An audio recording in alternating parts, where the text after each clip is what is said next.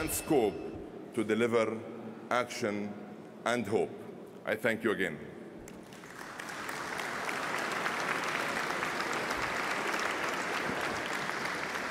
Thank you very much, Dr. Sultan. You had Dr. made Sultan. a beautiful closure. I, as I stand here, seven years after Paris Agreement, I can see how much hope I have but how much and high my demand is towards everyone here in the room.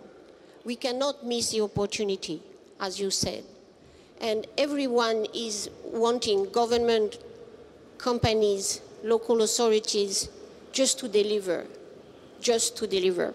So you have that in your hands. We will be looking, of course, at you with hope and resolve.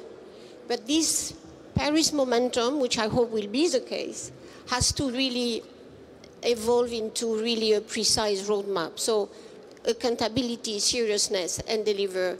And so the, the baton is for you now. Thank you all. It was very.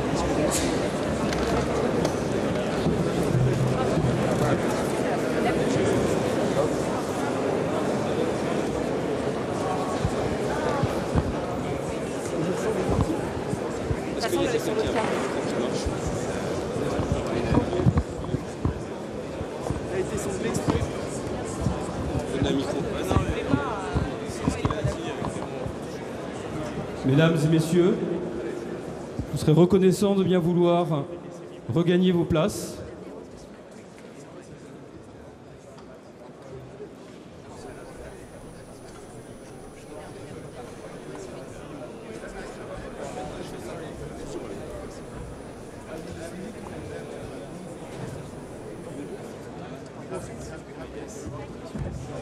Mesdames et messieurs les chefs d'État, سيداتي سادتي رؤساء الدول والحكومات من فضلكم على الجميع على الالتزام بأماكنكم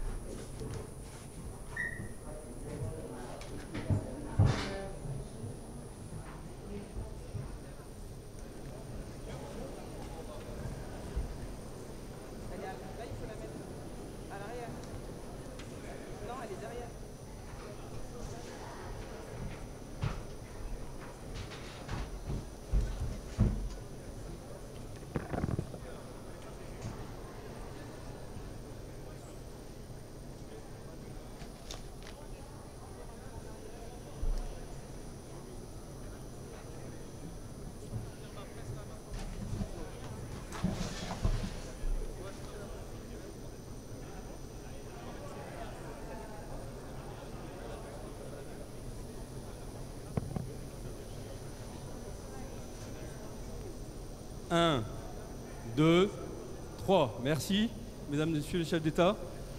أشكركم شكرا جزيلا Merci de regagner vos places, s'il vous plaît. عليكم الالتزام بالمقاعد من Avant de فضلكم reprendre euh, vos travaux, nous avons le plaisir de pouvoir euh, vous montrer quelques moments forts de la journée d'hier, la journée de ن- نشعر بسعادة بالغة على مدى الجلسات التي دارت بالأمس لقد حققنا الكثير من النجاحات والنتائج الملموسة والإيجابية خلال جلسات الأمس. Bon film.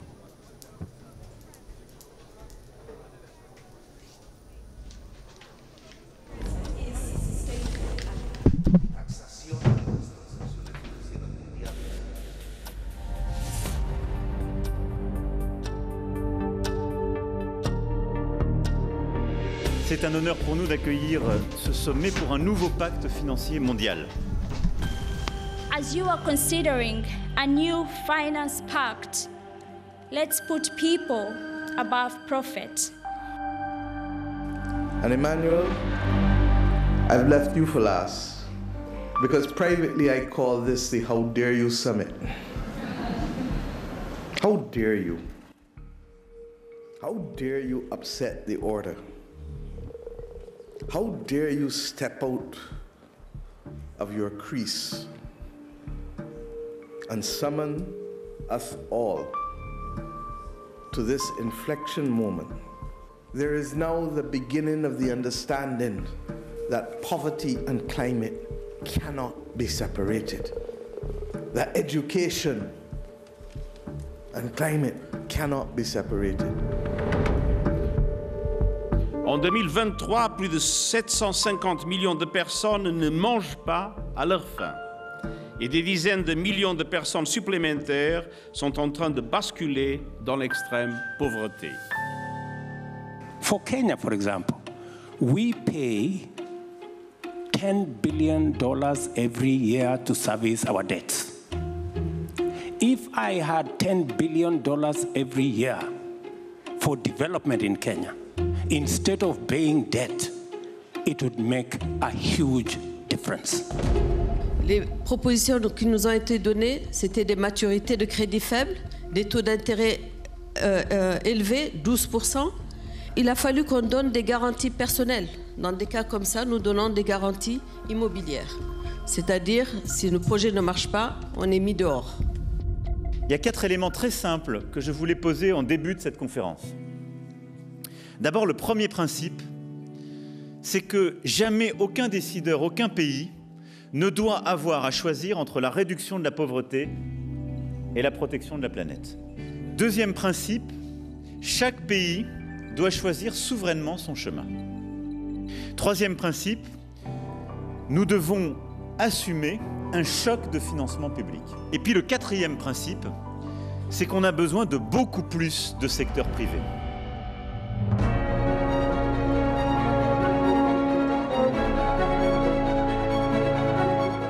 Our job is to eliminate poverty, but on a livable planet. Today, we are announcing a comprehensive approach that significantly expands the World Bank's toolkit for crisis preparedness, response, and recovery. This is my announcement. We have reached 100 billion on lending of SDRs. That was our target from 21. We have achieved that target. Unless and until we come out with a fair, equitable, and judicious formula of distribution of resources, financial resources, this world will never live in peace. I am pleased that the principle of solidarity expressed in Hiroshima resonates at this summit meeting in Paris.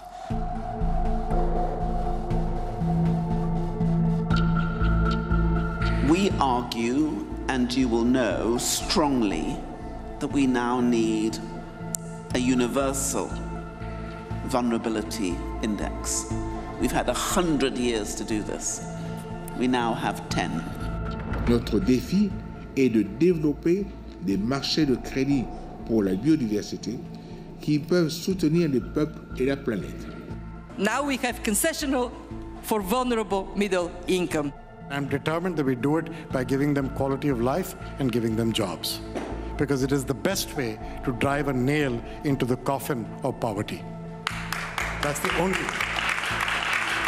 that we'll be announcing $50 million in, in new investments for the Blue Orchard uh, Latin American Caribbean Gender Diversity and Inclusion Fund. MDBs are leveraging machines. So let me end here with a call for us, the MDBs, to work together to scale this type of instrument, which is a very pragmatic, palpable thing to do. But I think it's really important to know that nature and climate are not two separate things. Mother Nature, Mother Earth didn't create all this list of acronyms, it doesn't recognize them. It sees nature, including climate, as one ecosystem.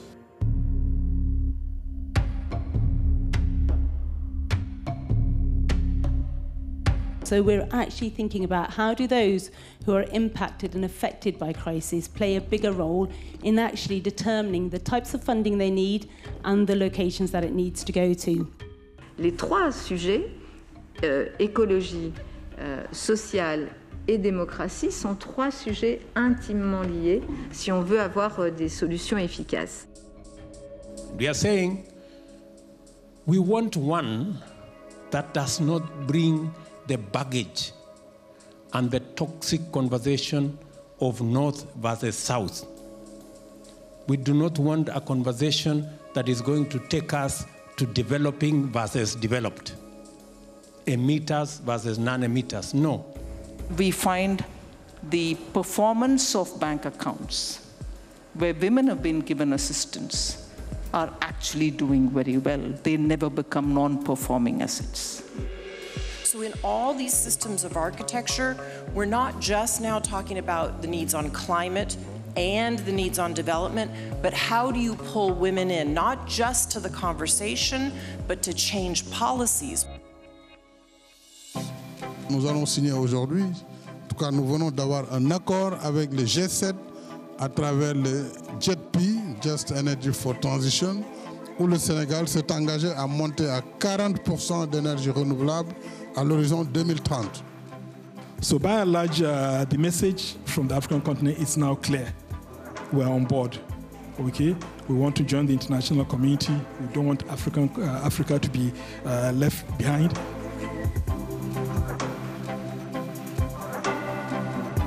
For us to be successful in what President Macron wants to do here, we have to have regulators in the room.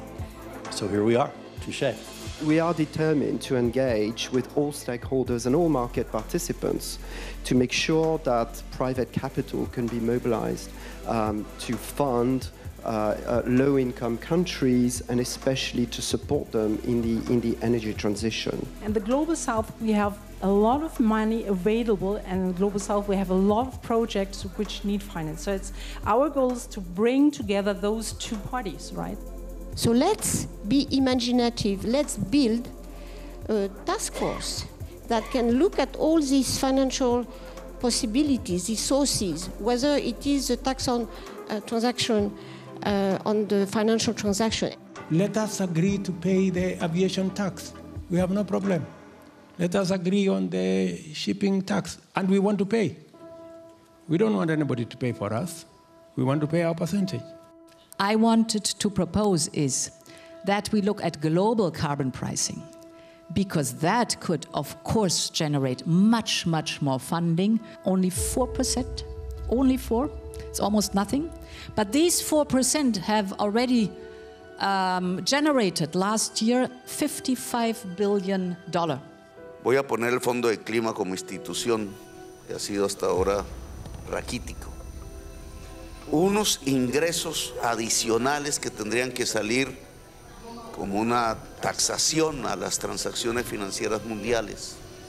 In March in Gabon, في مارس we في had the pleasure الجابون of joining President Macron. تمكنا من الانضمام إلى الرئيس ماكرون لكي نحصل على تمويل صغير حيث نتمكن من تقديمه للكثير من الدول Il faut donc faire profiter des pays comme le Niger des instruments de garantie de financement auxquels nous pouvons prétendre et réduire les primes de risque excessives.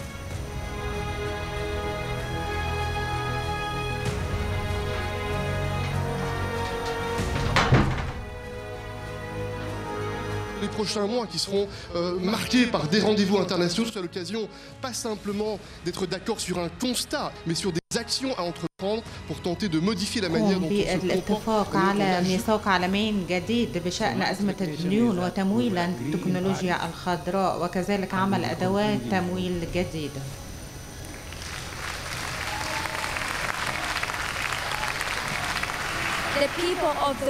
شعب العالم. يشاهد ما تقومون به وما تناقشناه في هذا الاجتماع. الشعوب. نحن الشعوب نتابعكم.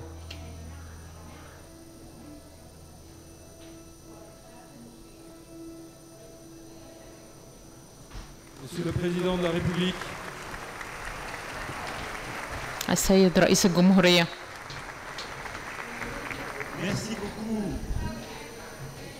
Et bonjour à toutes et tous. Merci d'être là. Alors, euh, d'abord, on va donner les canaux de traduction. Moi, je suis un esprit très pratique. Alors, le canal numéro 1, c'est quoi Alors, un, Canal numéro 1, pardon. Un français, deux anglais. Les véri vérifier, je sais que le portugais, c'est le 6 pour monsieur le président Lula. Un français, deux anglais. Chacun a la traduction qui lui, qui lui va. Ça marche? numéro 6. Est-ce que tu as la traduction en portugais?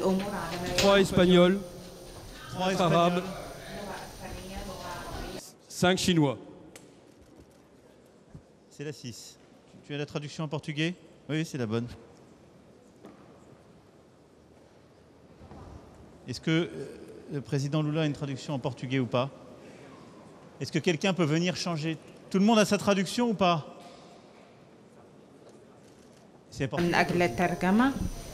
Je crois pouvoir dire que les gens qui ont une traduction en portugais n'ont pas accès à celle-ci. Je préfère vérifier avant de commencer, sinon on passe après. Toi, t'as une traduction ou pas En anglais, toi. Channel 2. It doesn't work. Nous avons qui a des problèmes de traduction? la Guinée-Bissau, le Brésil et le Kenya. Le Brésil, le Kenya. Le Kenya aussi.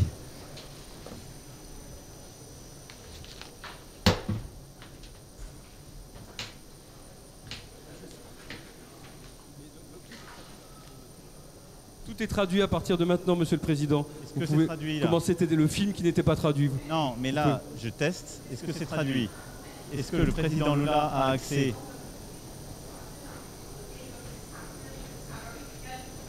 Il faudrait que quelqu'un vienne. Que sinon, ça peut durer longtemps. Monsieur le Président. Non, non, non. S'il y a trois présidents qui ne m'attendent pas, à commencer par mon voisin, je ne vais pas commencer. J'ai pas l'habitude de prêcher dans un désert. Donc, euh, il y a quelqu'un qui a beaucoup de pouvoir en ce moment sur nous tous, et c'est la personne qui maîtrise euh, ces trucs de traduction. Si cette personne pouvait venir et, et vérifier les trois objets défaillants, nous gagnerions.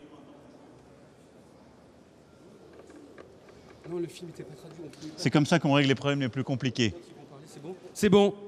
Est-ce que c'est bon Le top a été donné. Vous pouvez y aller, Monsieur le Président. William, it's working Parfait. Merci beaucoup.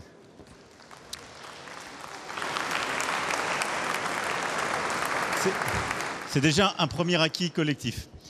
Euh, alors, mesdames et messieurs, merci beaucoup d'être là. L'objectif, c'est justement pas qu'il y ait وعلى حضوركم أمس جميع الجلسات والموائد المستديرة التي قمنا من خلالها بمناقشة العديد من الموضوعات التي طرحناها سويا.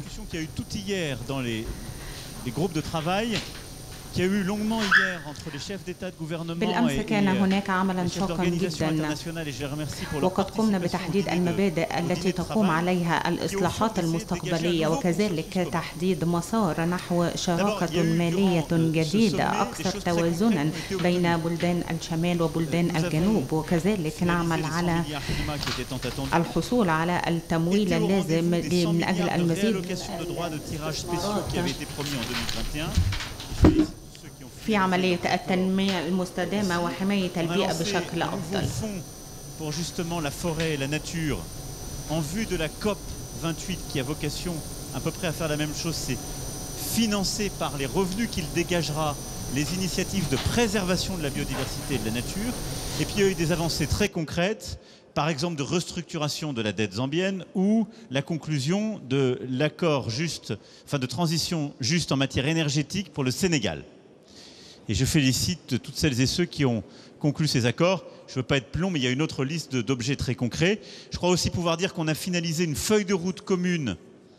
Et je remercie tous les, actionnaires et surtout les deux dirigeants entre le FMI et la Banque mondiale, qui est vraiment un élément très structurant de la transformation de notre paysage, avec une meilleure coordination des travaux, une nouvelle ambition et un levier avec le secteur privé qui est clé. Au fond, ce qu'on veut faire avec tout ça et ces premiers éléments, c'est bâtir un nouveau consensus commun. Un consensus qui, en méthode, est construit sur toute la planète. Les pays les plus pauvres, les pays en voie de développement, euh, les pays à revenus intermédiaires. مشترك أسلوب بديناه من أجل ال- الكوكب بأكمله الدول الكبرى والصغرى والغنية والصغيرة وكثير من الدول غير المشاركة ونحن مع المؤسسات العدة التي تم إنشاؤها آه، لن نقع آه، سنتجنب الوقوع بنفس الأخطاء وسنعمل آه، على تنسيق الجهود. جدول الأعمال الذي نضعه مهم جدا. سنحاول أن نخرج بالتزامات بعد حواراتنا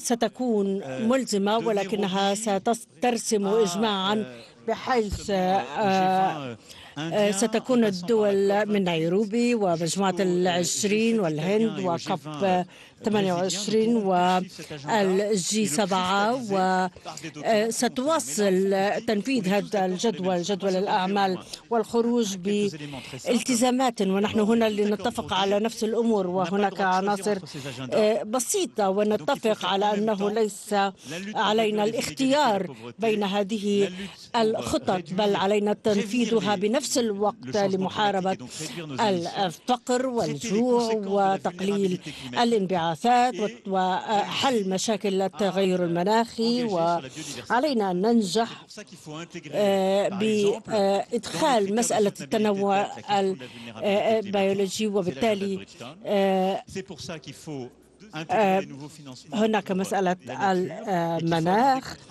و علينا أن نتعامل مع هذه المسألة بوضع خطط تنفذ على الأرض والمسألة الثانية هو أننا نعمل على حماية الغابات والطبيعة من أجل الطاقة و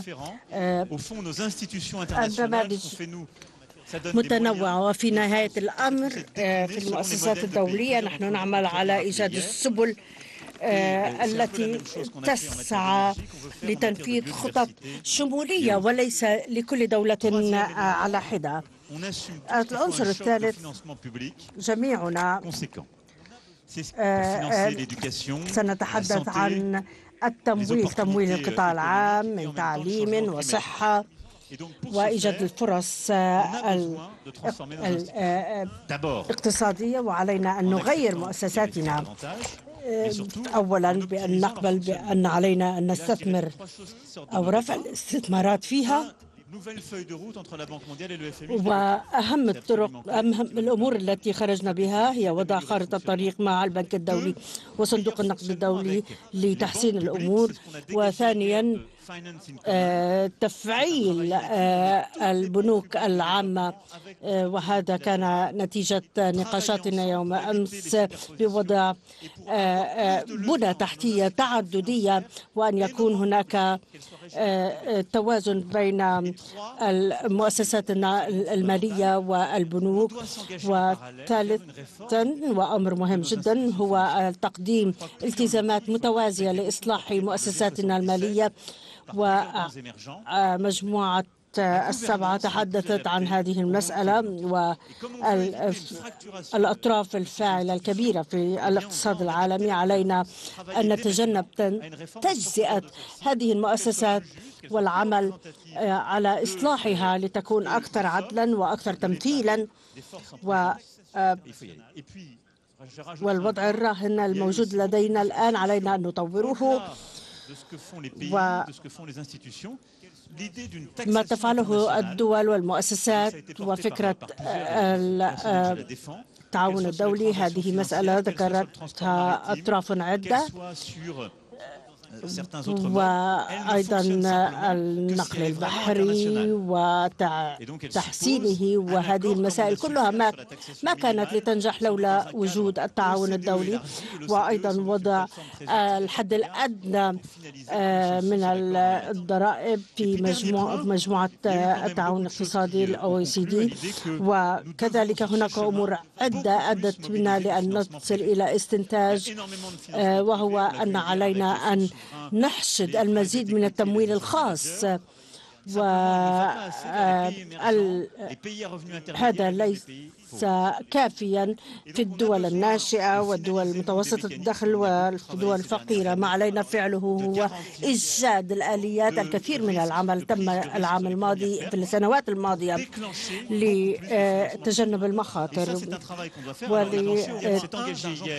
للحصول على التمويل الخاص هناك تعاون بين البنوك ووضعنا دولار أو يورو من التمويل العام لابد أن يكون مقابله دولار أو يورو من القطاع الخاص. وهذا أمر مهم جدا علينا أن نحشد ونشارك أيضا الدول المعنية بهذه المسألة. هذا ما خرجنا به من عملنا وهذه أدوات جديدة وإجماع جديد ومناهج جديدة و إصلاحات حكومية كبيرة مهمة هو أن يصل المتحدثين إلى المواضيع vos yeux comment conjuguer ces deux objectifs et comment justement conjuguer cet agenda pour nos concitoyens, nos compatriotes et pour la planète. Je vous donne la parole.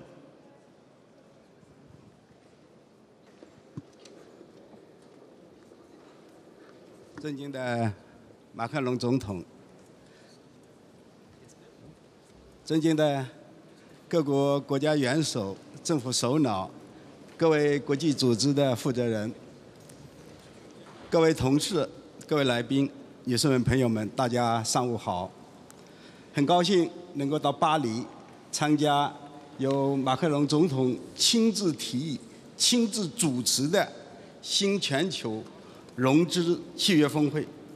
我觉得这次峰会啊，组织的负责人。 The summit is highly relevant as it focuses on the pressing tasks in global development and confronts issues of shared concern in the current situation. 现实意义。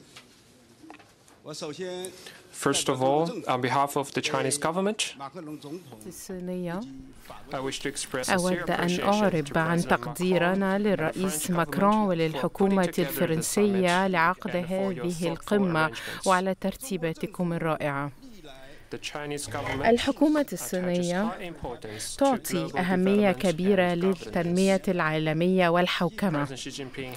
الرئيس شي جين بينغ في السنوات الماضية قد اقترح التنمية العالمية ومبادرات التنمية العالمية وكذلك مبادرة الأمن العالمي بالإضافة إلى مبادرة الحضارة العالمية. ولقد تم تلقيها بشكل جيد من قبل المجتمع الدولي وتم ترجمتها كذلك إلى إجراءات ملموسة.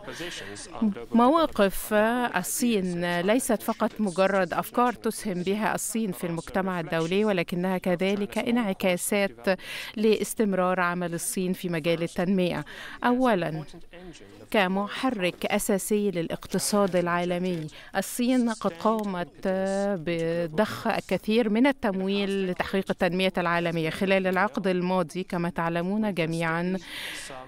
لقد قمنا بتقديم تقريبا مساهمة بنسبة 30% في النمو العالمي. والصين كذلك كانت هي المحرك للاقتصاد العالمي وهذا العام الاقتصاد الصيني قد أظهر ارتفاع كثير في الربع الأول من إجمالي الناتج المحلي حيث وصل النمو إلى 4.5% وهذا الرقم كان من بين أعلى الأرقام التي تحققت في الاقتصادات الكبرى على مستوى العالم. الدولة تتمتع بقوة كبيرة في الاقتصاد الخاص بها وكذلك الصناعة. إن الأساسيات التي تحقق النمو طويل المدى أصبحت أقوى مما كانت عليه في أي وقت مضى. وبالنسبة للعالم فإن تنمية الصين ونموها ليس تهديدا ولكنها فرصة للعالم كله. لأن البيئة العالمية يمكن عندئذ أن تتطور كلها. ونحن سوف نستمر في العمل على تحقيق النمو العالمي وتحقيق مستويات عالية من النمو بما يتفق مع المعايير الدولية في مجال التجارة. ونحن نرحب بكل الدول لكي تتشارك معنا في الفرص التي نتيحها. ونحن الصين كدولة مسؤولة نبذل الكثير من الجهود كذلك للتعامل مع قضية تغير المناخ.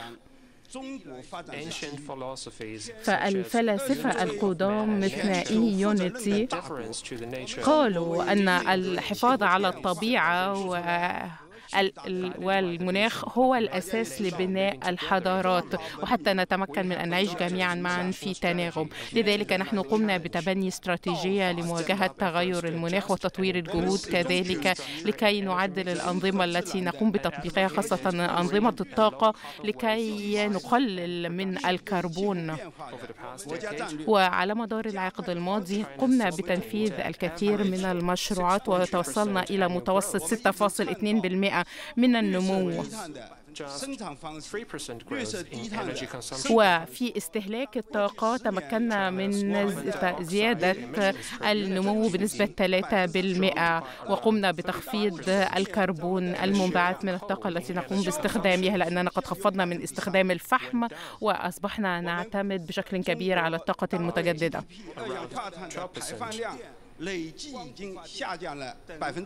وأصبحت الطاقة الجديدة تسهم كذلك في إجمالي الناتج المحلي. والصين أصبحت أحد أكبر الدول في هذا المجال. التحول في مجال الطاقة. ونحن بناء على الائتمات الموجودة لدينا نقوم بتنفيذ الكثير من المشروعات. بما يتفق مع اتفاق باريس بالإضافة كذلك إلى كل اتفاقات لكي نتمكن من التوصل إلى الحياد الكربوني الذي نعمل عليه كذلك ولنمنع زيادة درجة حرارة العالم أكثر من واحد ونصف درجة مئوية. وفي الصين نحن مستعدون لأن نتعاون مع الدول الأخرى وخاصة المبادرة التي قدمتها فرنسا والدول الأخرى.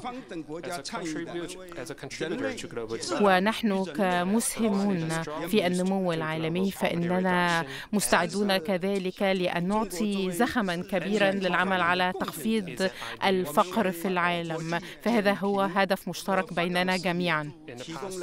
في العقد الماضي قد قمنا بإجراء الكثير الكثير من التغييرات حتى نتمكن من مواكبة الأزمات المالية العالمية التي حدثت. ولقد تمكنا بالفعل من إخراج الكثيرين في الصين من الفقر. ونحن نحاول كذلك مساعدة الدول الأخرى. نعم هذه مساهمة كبيرة لتخفيض الفقر على مستوى العالم.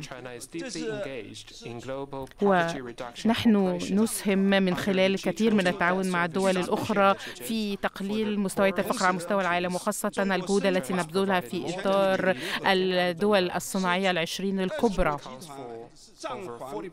لأنها تسهم تقريبا بتقليل 40% تقريبا من الديون على الدول. وكما تقول المقولة الصينية أن شخص واحد لا يستطيع أن يفعل شيئا وحده ولكن عندما نعمل كلنا معا فإننا نستطيع إدراك الأهداف. العالم الآن يواجه فجوة في التمويل. والصين تتمنى أن تتقدم بطلب لكل الدول كي نتعاون جميعا فيما بيننا لكي نتغلب على هذه الصعوبات وهذه الفجوة في التمويل ومساعدة الدول الأكثر عرضة للخطر. ونحن سوف نتخذ مجموعة من الخطوات حتى نحقق هذا. نحن سوف نعمل على تطوير الأدوات المالية وأدوات التمويل لكي نخلق بيئة ملائمة للاستثمار في الدول النامية. ونحن مستعدون للعمل مع كل الأطراف لتحقيق التمويل وكذلك تقديم أساليب وبيئة تمويل صديقة للدول النامية والدول الفقيرة. ونحن في حاجة إلى تحسين شبكة التمويل العالمية من خلال التنسيق الدولي ومن خلال السياسات الاقتصاد الكلية التي نتبناها لكي يكون هناك تأثير إيجابي على كل الدول. إن المؤسسات التمويل الدولية بما في ذلك صندوق النقد الدولي والبنك الدولي لديهما الكثير كي يقوم به من خلال المناقشات التي يجرونها لمساعدة الدول في القيام بالإصلاحات المالية ولدعم الأسواق الناشئة والدول النامية. ثانيا يجب أن نعزز شراكة تعاون عالمية لكي نحشد المزيد من موارد التنموية للدول النامية. المجتمع الدولي في حاجة إلى صياغة.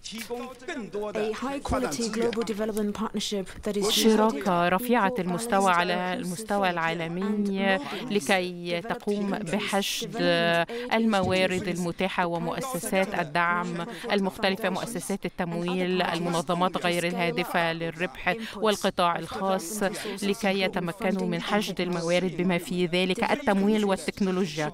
إن الدول المتقدمة عليها الوفاء بمسؤولياتها لتمويل الجهود الخاصة بالتنمية.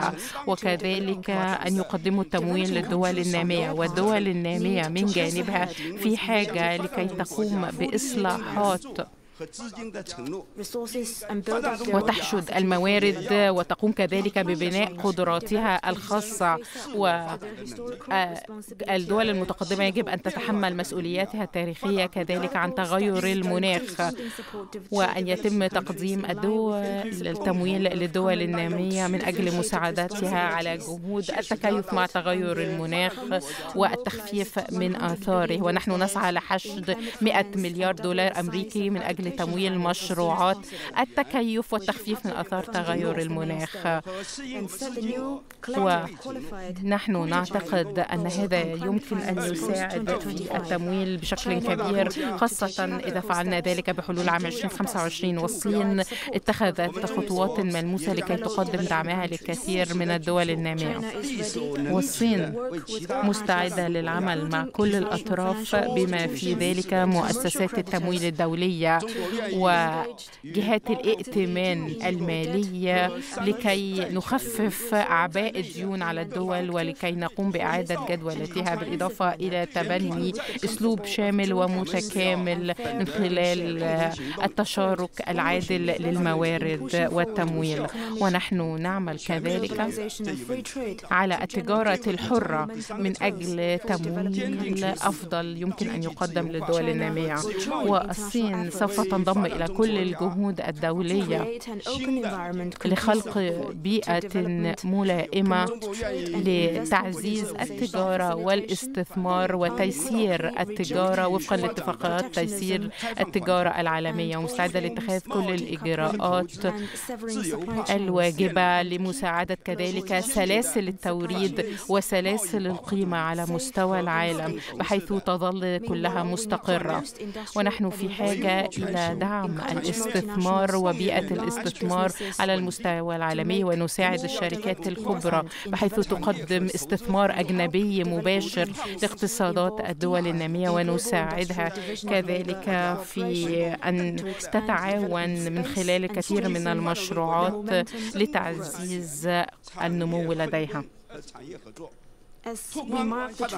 وبينما نتحدث عن الشراكة الاستراتيجية بين الاتحاد الأوروبي والصين والذكرى العشرين لها فإننا نتعاون مع الاتحاد الأوروبي لتقليل الاختلافات ولكي نعمل جميعا من أجل صالح العالم خاصة في هذا العالم الذي يواجه حالة من عدم التيقن.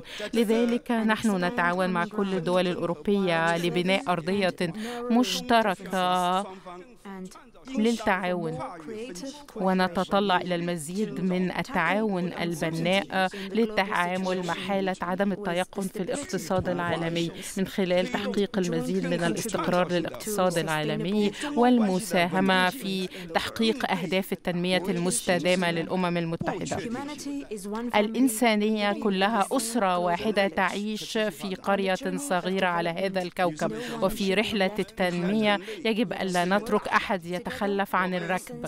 دعونا نعمل معا بروح مشتركة وبروح التضامن حتى نسرع من التقدم والتنمية. ومعا نجعل العالم أفضل. شكرا.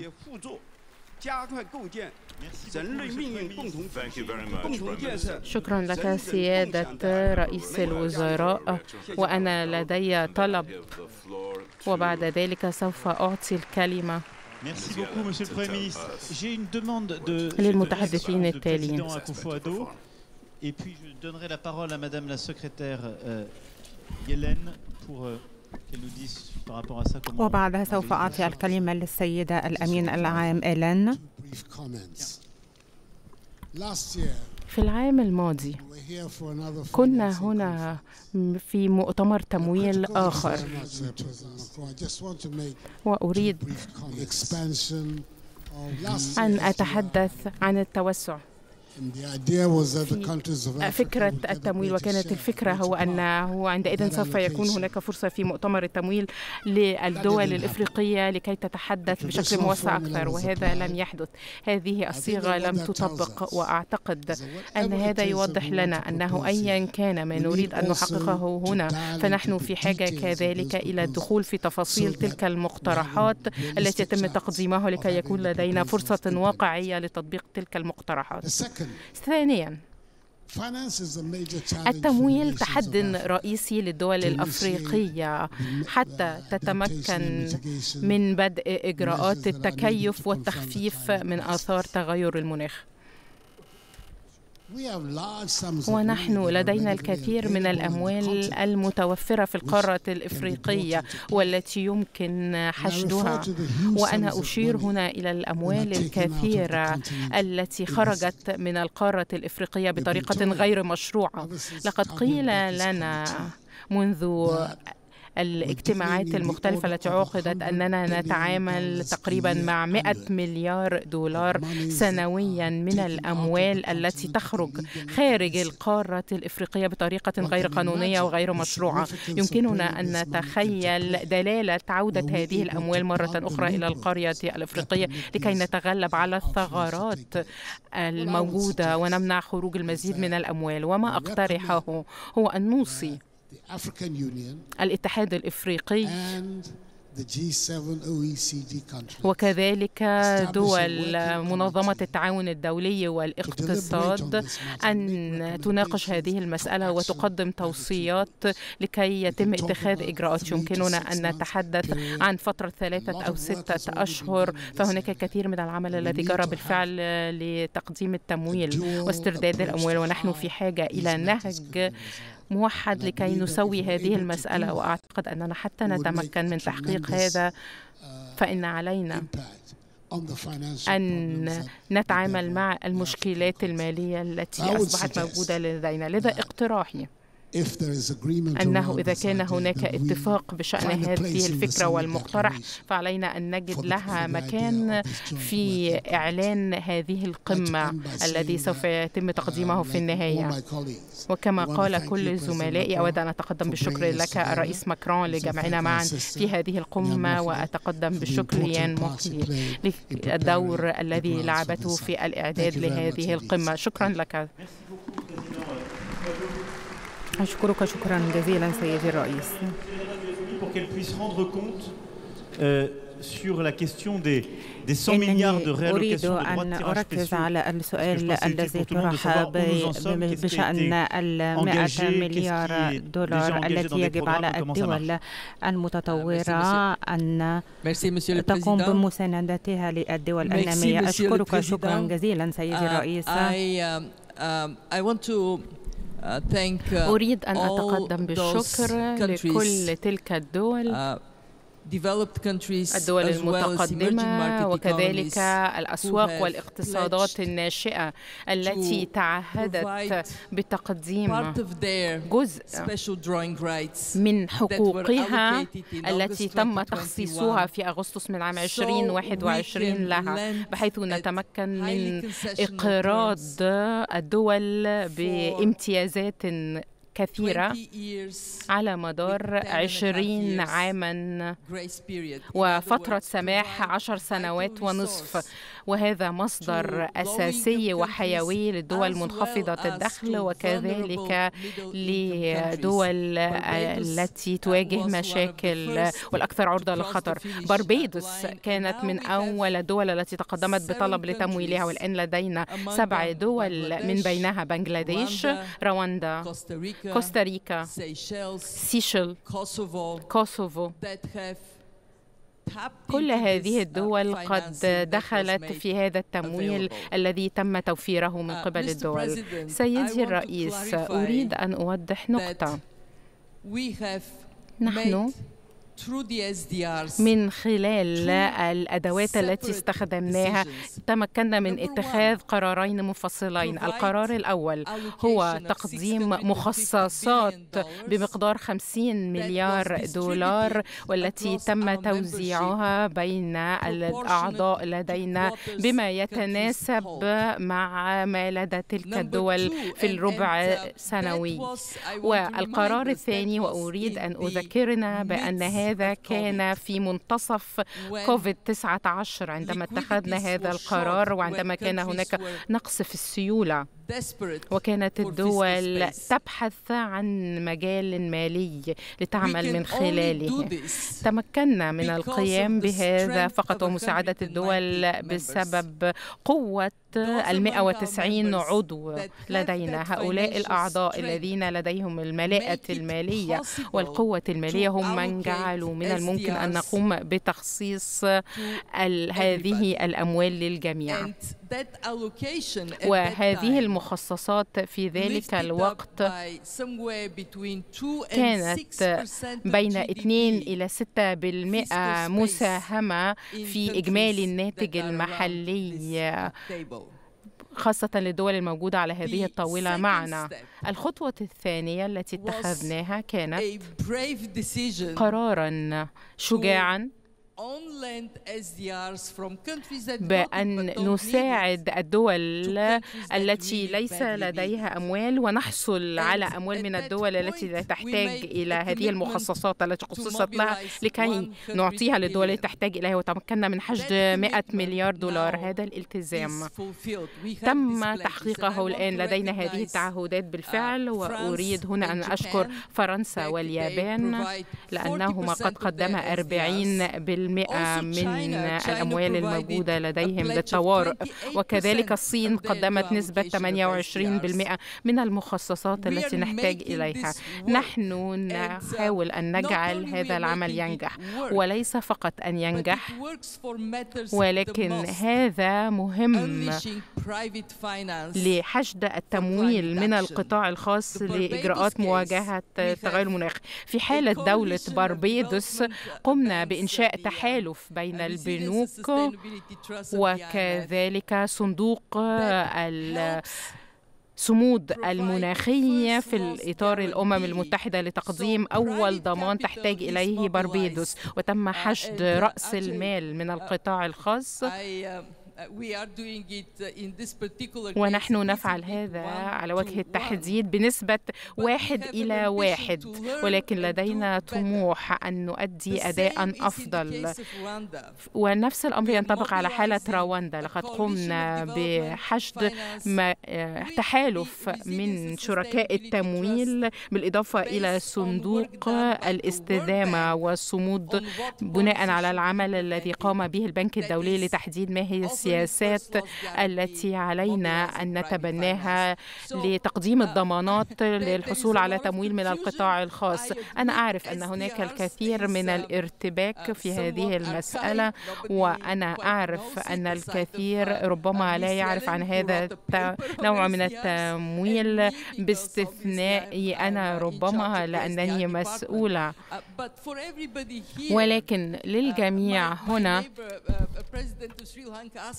رئيس سريلانكا سألني لماذا تقدمون 100 مليار فقط؟ لماذا ليس 200 مليار أو 300 مليار؟ سؤالي هو أننا نفعل شيئا جديدا. نحن نحاول أن نخفف من الكوارث ونحاول كذلك أن نزيد من التمويل للدول وعلينا أن نفعل ذلك بجرأة.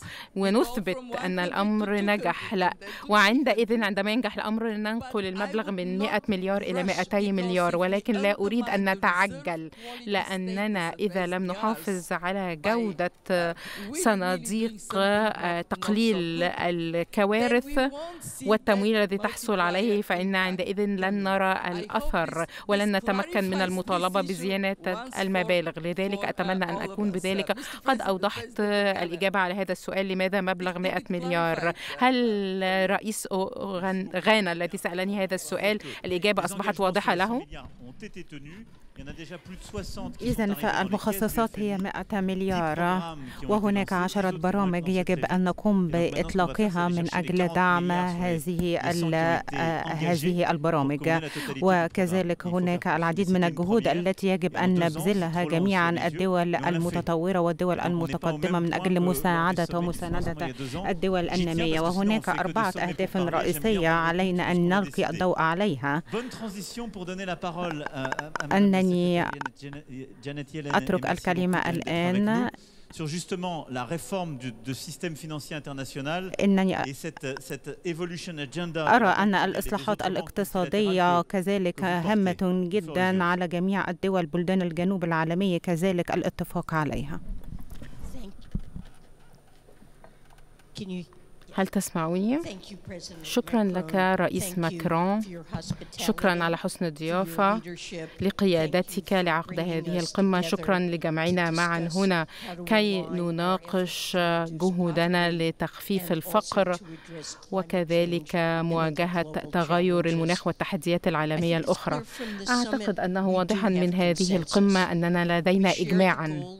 نحن نتشارك في هدف واحد وهو تحقيق المزيد من الرفاه والكوكب الذي يمكن أن نحيا عليه وهناك بالفعل إرادة سياسية والتزام للتعاون متعدد الأطراف بحيث نحول الكلمات إلى إجراءات ملموسة. وأنا سعيدة بأنني أشارك هذه المرحلة مع الزملاء من مختلف أنحاء العالم بما في ذلك وزير الخارجية لي تشانغ كما ذكرت فإن أكبر اقتصادين في العالم نحن لدينا مسؤولية أن نعمل معا لمواجهة التحديات العالمية وهذا شيء نستطيع أن نقوم به ويتوقعه منا العالم.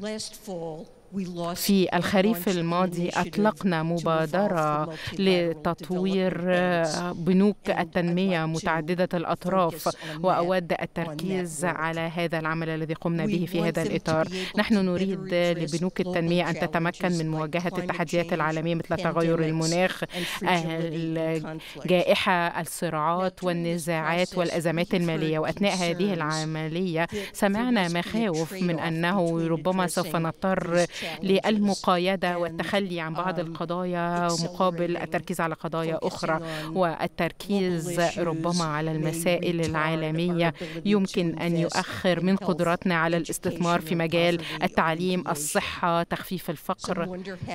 لذا البعض كان يتساءل كيف يمكن أن نفعل المزيد ولكن في نفس الوقت نحقق التوازن بين كل الإجراءات وكل المجالات التي نريد التركيز عليها دون التخلي أي أحدها إننا في حاجة إلى أن نفعل الأمرين ونقوم بهما بطريقة جيدة.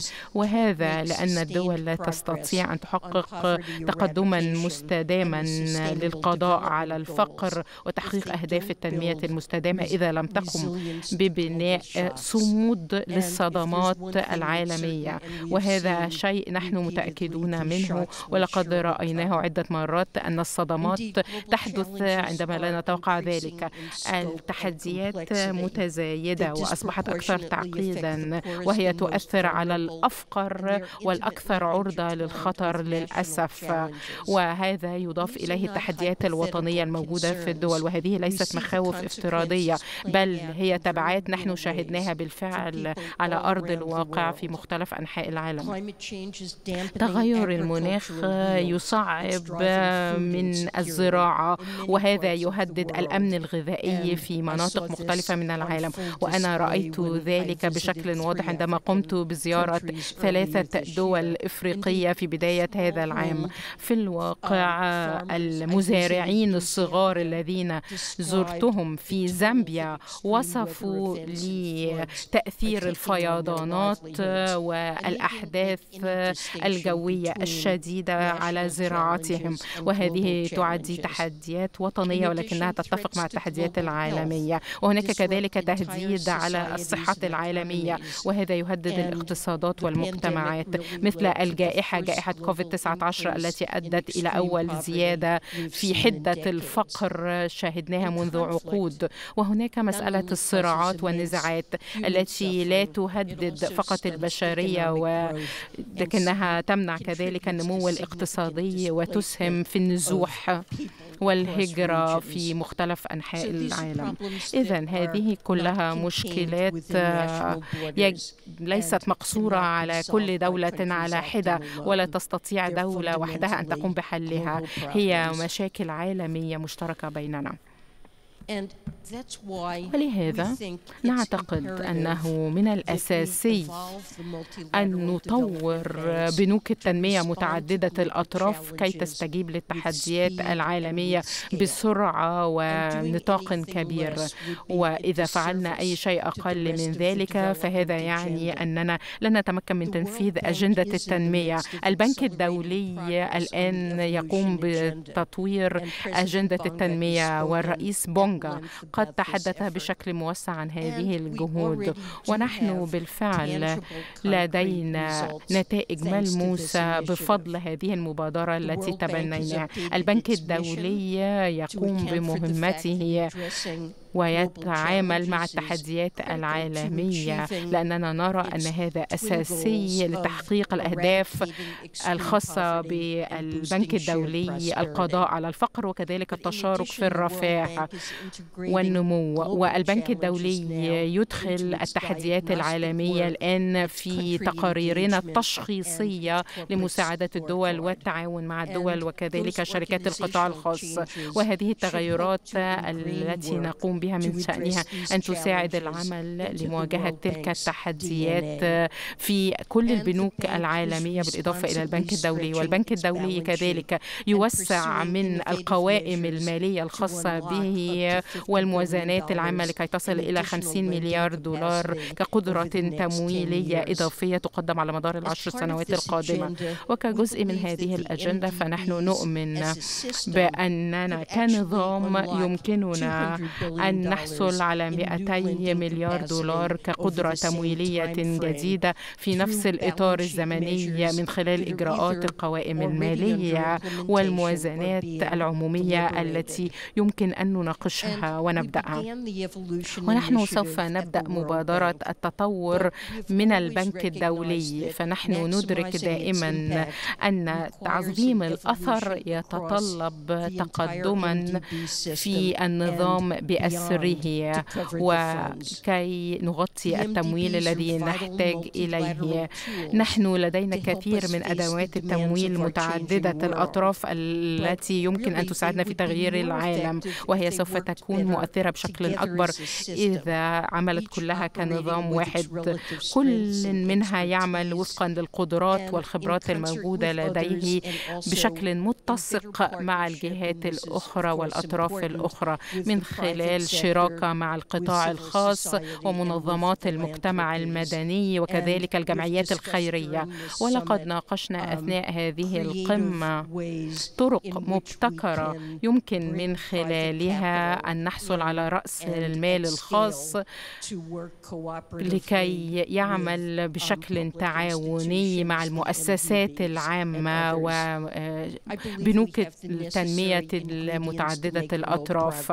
نحن علينا أن نركز على هذا القيادة السياسية والابتكار آليات التمويل المبتكرة بالإضافة إلى الانفتاح والشجاعة لكي نتعلم من دروس الماضي ونصيغ حلول جديدة للمستقبل.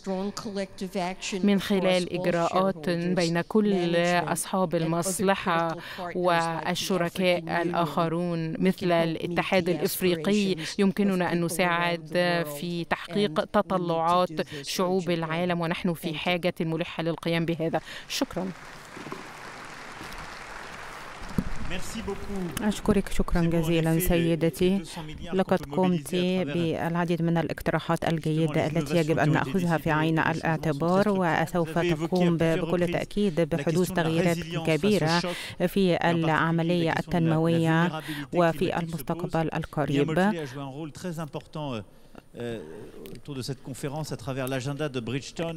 في هذا المؤتمر وفي الأجندة المقترحة في هذا المؤتمر. لقد تناولنا العديد من النقاط الاقتصادية التي يجب أن نأخذها في عين الاعتبار مثل مكافحة الفقر وكذلك وجود حلول من أجل دعم الدول النامية.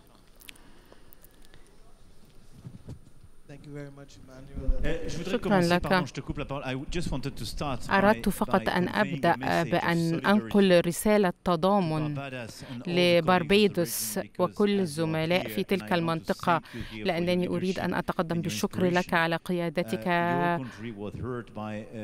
دولتكم شاركت بشكل مبكر للغاية في المبادرة لذا نود أن تعربوا لشعبكم عن دعمنا.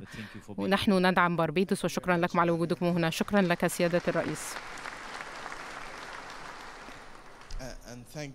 وشكرا لكم لإدراككم أن شرق الكاريبي يواجه الآن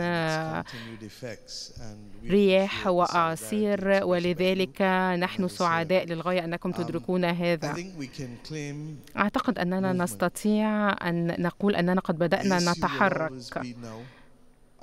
فالمسألة الآن بما أننا بدأنا نتحرك هل نحن نتحرك بسرعة الكافية أم نحتاج للمزيد؟ لأن الطموحات بالطبع قد زادت على مدار اليومين الماضيين في هذه القمة. ومن الكلمات التي استمعناها هذا الصباح من رئيس وزراء الصين ومنك ومن رئيس غانا ومن كريستالينا أن هناك إجماع سياسي. أن المسألة أكبر منا جميعا. وأننا في حاجة للعمل معا حتى نتمكن من إحداث فرقا. إن بنوك التنمية متعددة الأطراف يجب أن تغير من طريقة عملها. وأعتقد أن هذا أمر مقبول. السكرتيرة يلن قد تحدثت عن إمكانية العمل مع القطاع الخاص والجمعيات الخيرية لمواجهة مواجهة مشكلة الديون العامة وكذلك لتوفير التمويل. ونحن دعونا نتحدث الآن عن الجائحة. كوفيد 19 هي قد أظهرت أنه إذا نظرت إلى الأرقام التي تقدمها شركات الأدوية فهناك واحد مليار جرعة يجب أن نقوم بتوفيرها لكي نواجه أي تحدي جديد ربما سوف يشعر يظهر لأن هناك عشر ممرضات يجب أن نتعامل معها معها ومن بينها أن العالم الأصبح أصبح متوقعا أن يواجه بحلول عام 2050 مشكلة المضادات الميكروبية والمضادات الحيوية. ولذلك نحن في حاجة إلى مليار. إذا سمعنا شركات الأدوية وجوزي يقول في لجنته 10 مليار. لذا إذا أخذنا الرقم الأكبر فتكلفة كبيرة للغاية. هذا هو الواقع. ولذلك الخيار بالنسبة لنا أن نضع هذه الأموال جانبا. أمر لا نستطيع أن نفعله. لقد واجهنا جميعا كوفيد 19 ورأينا كيف أنه قد أثر على كل شخص منا. وأعادتنا وراء عقدين أو ثلاثة عقود. لذا لقد حانت اللحظة لكي نكون مستعدين لأي جائحة قادمة. ولذلك علينا أن نفكر فيما يمكن أن يبدو عليه البنك الدولي للتنمية والإعمار في هذا العقد. لأننا أصبحنا في عالم مختلف الآن. ثانيا أود أن أتقدم بالشكر لنا جميعا لأننا تمكنا من الوفاء بالوعود التي قدمناها. وهذا مهم للغاية لبناء الثقة فيما بيننا. وإذا لم نذهب إلى كوب 28 في دبي بإنجازات فسوف نفقد ثقة الشعوب. دكتور سلطان تحدث هذا الصباح أن الوقت قد حان إلينا لكي نعمل جميعا بدلا من العمل في جزر منعزلة. نحن اجتمعنا هنا في باريس كقادة للعالم مع المنظمات الدولية ونحن في حاجة الآن إلى أن نجلس مع القطاع الخاص والنفط والغاز الطاقة المتجددة التمويل شركات التأمين النقل. علينا أن نجلس مع كل هؤلاء لكي نتعامل مع مشكلة مشتركة ولكي نجد حلا مشتركا لها. إذا لم يكن هناك خطة أن نذهب لنعيش على المريخ. ليس لدينا حل آخر سوى أن نتمكن من إحياء هذا الكوكب حتى نتمكن من العيش عليه. وعلى مدار الثمانية أسابيع الماضية سوف نناقش هذه المسألة في بلدنا لأننا لا نستطيع أن نظل نقول أن هذه هي أكثر قضية ملحة تواجه البشرية دون أن نفعل شيء. علينا أن نتصرف سريعا. وهذا يجب أن يكون الآن القواعد نحن من يضعها. لا يجب أن تكسرنا القوانين بل نحن من نشكل القوانين. وعلينا أن نشكل القوانين الآن كما شكلها الآخرون من قبل. لأننا سوف نكون محاسبين على الواقع الذي سوف تواجهه البشرية في المستقبل. علينا أن نعرف أن البشرية سوف تظل موجودة للأبد. لذلك علينا ألا نتصرف بطريقة لا تعكس الدروس التي تعلمناها. وأنا واثقة من أننا سوف نترك هذه القمة بالمزيد من الالتزامات تجاه هذه الحاجة الملحة. وأرى كذلك أن الوضع الجيوسياسي لا يمكن أن نسمح له بأن يقف في طريق مواجهة هذه الأزمة الكبرى. إذا أصبت فإنك تنزف.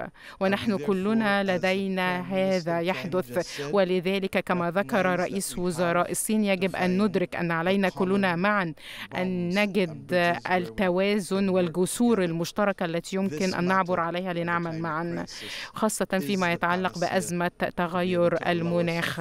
فعلينا أن نتعامل مع السياسات الوطنية والدولية من خلال هذا المنظور.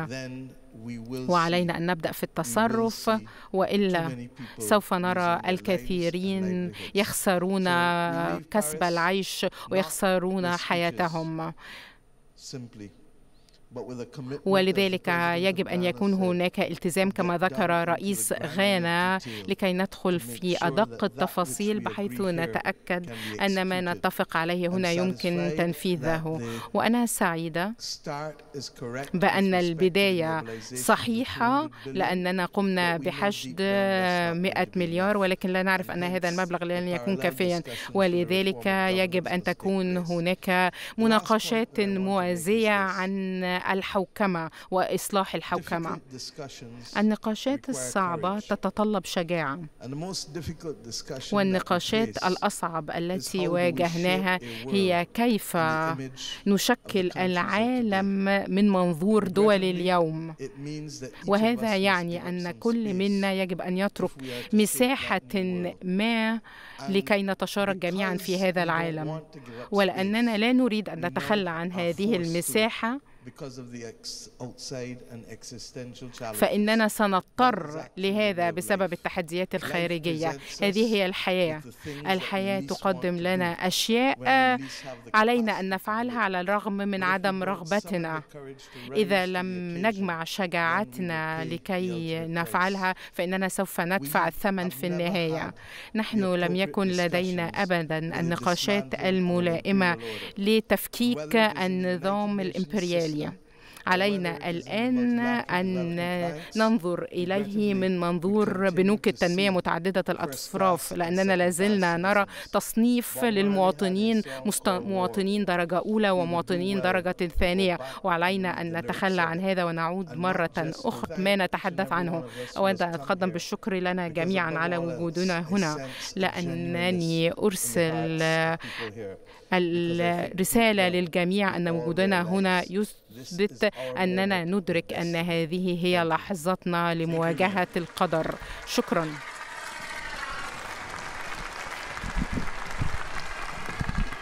Thank you very much. شكرا لك.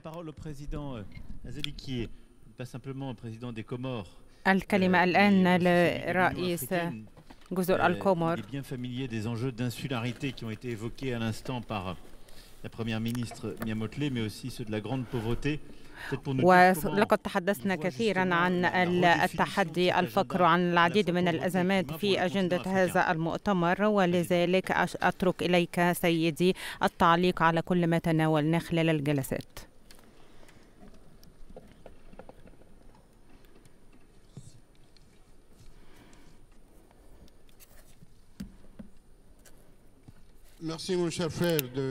أشكرك شكرا جزيلا سيدي الرئيس على إعطائي الكلمة.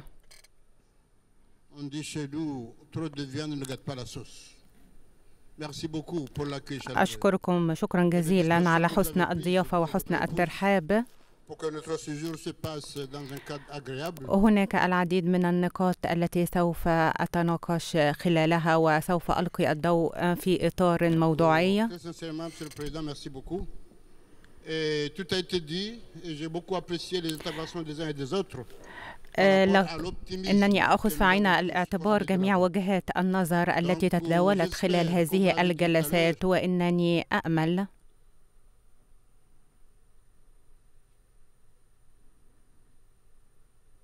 La prochaine rencontre, de faire le bilan. C'est-à-dire que ce soit au G20, que ce soit à la COP28, que ce soit au G7, إنني أأمل أن يحظى هذا المؤتمر بالعديد من النقاط الإيجابية وأن نتوصل إلى العديد من النتائج التي تكون محل الاعتبار من قبل جميع الدول هناك كان هناك العديد من التغييرات في وجهات النظر في وجهات النظر وذلك أسرى المناقشات أشكرك شكرا جزيلا سيدي الرئيس وأشكر جميع الدول المشاركة accepté comme membre à part entière du G20. Merci beaucoup de cette demande. Et je crois beaucoup que ah, beaucoup sont déjà prononcés. Ah, mon frère Lula, il s'est prononcé, mais je demande aussi d'être mon avocat par rapport à ce qui a été fait ici. Et très sincèrement, il y a beaucoup d'espoir. Il y a beaucoup d'espoir, comme ça a été dit maintenant. Donc, euh, l'espoir est permis, mais il faut de la prudence. Il faut qu'on soit très prudent par rapport à tout ce qu'on a dit et se donner tous les moyens de voir comment on va y arriver. Et de ce côté-là, il y a un grand plaisir puisque d'autres pays africains ou d'autres ont été cités comme quoi ils sont dans la bonne voie. Donc c'est un bel exemple pour les autres pays de ne pas être déçus et de savoir qu'on va aller ensemble. Mesdames et messieurs, vous le connaissez tous, on a vécu le Covid. C'est une très belle leçon qui nous a été donnée.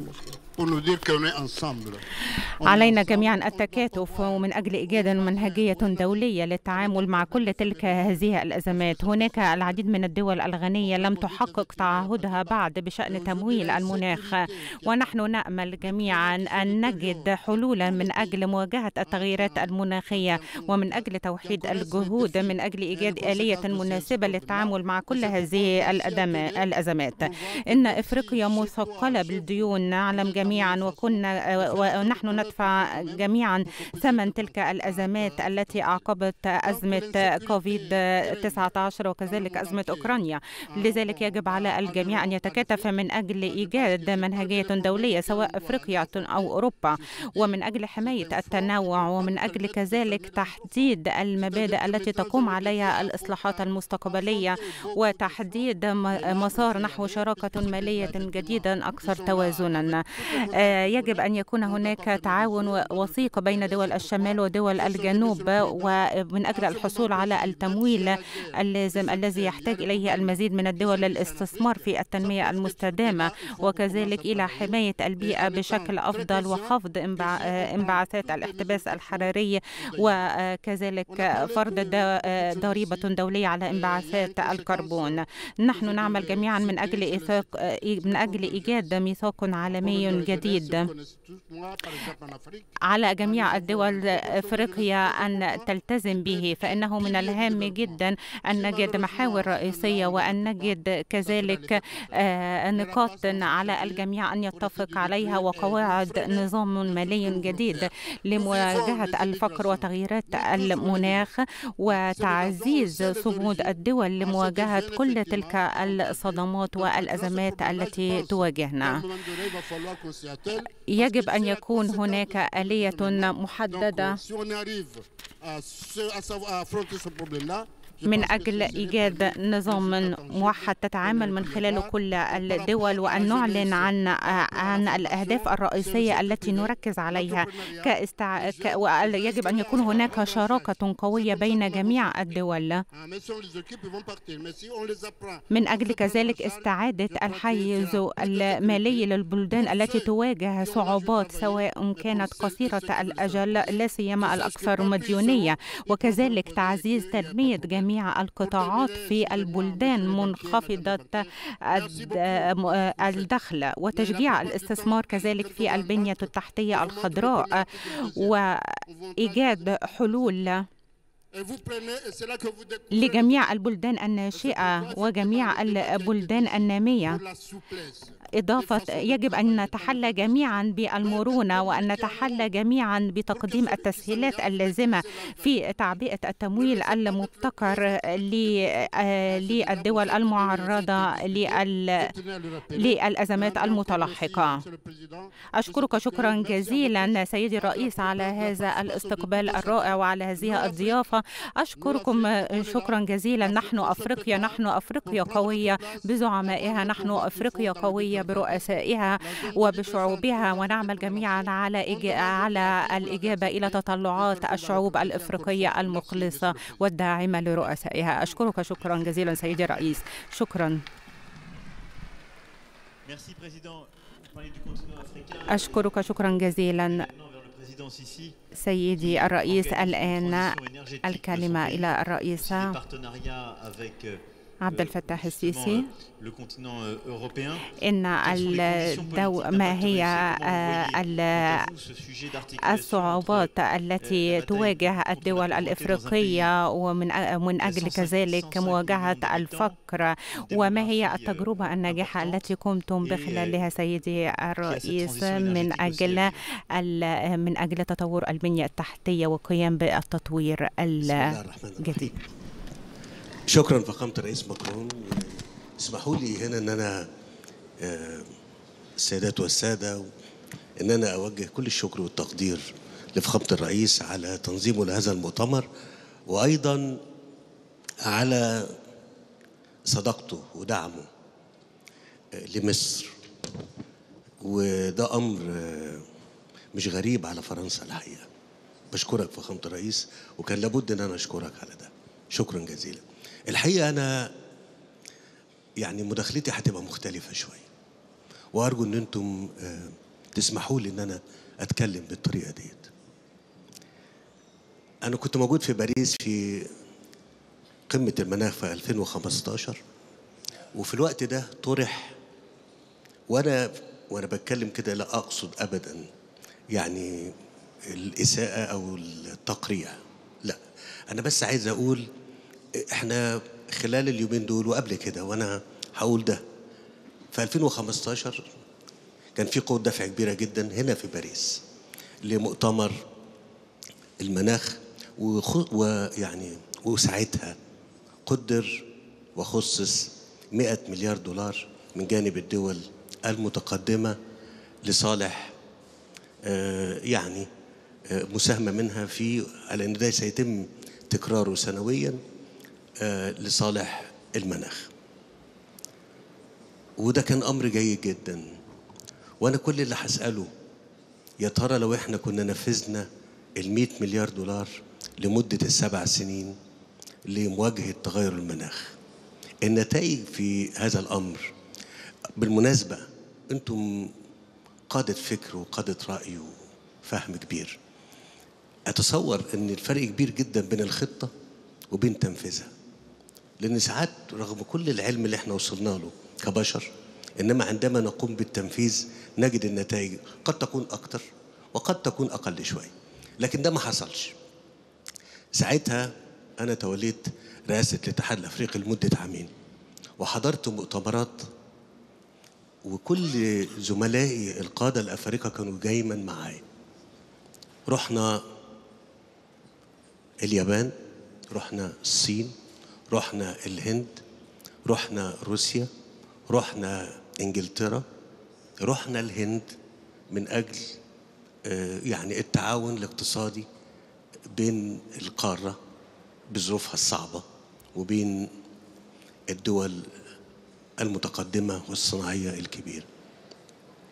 ودايما كنا بنتكلم وكان كل زملائنا سواء من آه، يعني زملائنا في القارة أشقائي أو من جانب الدولة المضيفة كان بيبقى فيه كلام مهم جدا وفي استعداد كبير للتعاون. الحقيقة النتائج اللي تحققت خلال المدة دي حتى الآن وأتصور أنا مش بتكلم باسم القارة دلوقتي أنا بتكلم فيما إن إحنا قاعدين في محفل مهم قوي النهاردة. وبنسجل كلام مهم لينا كلنا.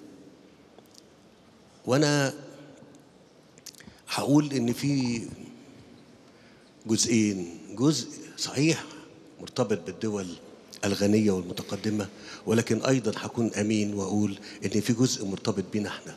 إن إحنا كمان نبقى مستعدين نتحرك بفاعلية وبأفكار تحقق لنا النفاذ لتحقيق أهدافنا. وأنا عشان النقطة دي أشاور عليها وأوضحها كويس هقول إن إحنا في مثلا في COP 27 أطلقنا منصة اللي اسمها نوفي. خدنا من ال EBRD ومن ألمانيا ومن الولايات المتحدة ومن الدنمارك تمويل ل 10 جيجا يمكننا إن إحنا في 2030 يبقى عندنا 42% من خليط الطاقة. اذا العمل مش عمل فقط من جانب إن إحنا نلقي اللوم على أصدقائنا الدول المتقدمة وإحنا كدول أخرى ما يبقاش عندنا الأفكار اللي نحاول نخترق بيها ونحل بيها المسائل وبعد كده نقول اللي إحنا بنقوله دلوقتي. نرجع تاني. ده اللي إحنا ده اللي حصل. ونفس الكلام وأنا بقول هنا بوجه شكر للرئيس للمستشار شولتز نفس الكلام إحنا لما جينا نخش في برنامج اللي عمل أكبر مشروع للقطار الكهربائي في إطار. التنمية المستدامة وفي وفي إطار أيضا آه، عوامل المناخ مجابهه عوامل المناخ. من خلال استخدام نظم نقل حديثة تبقى بعيدة جدا عن التلوث وتأثيراته. كان في دعم قدم لينا. ولما قصدنا إن مخاطر الائتمان يتم تمويلها من جانب ألمانيا. حصل ده. حصل هذا الأمر وتم تمويل مخاطر الائتمان للقرض ده. القرض ضخم برقم كبير.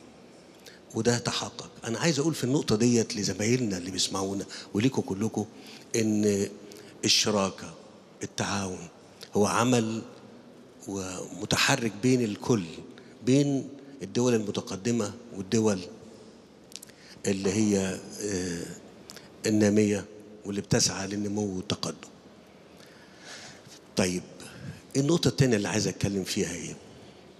هل التحدي والخطر واضح لينا كلنا؟ أتصور إنه واضح جدا. مش محتاج.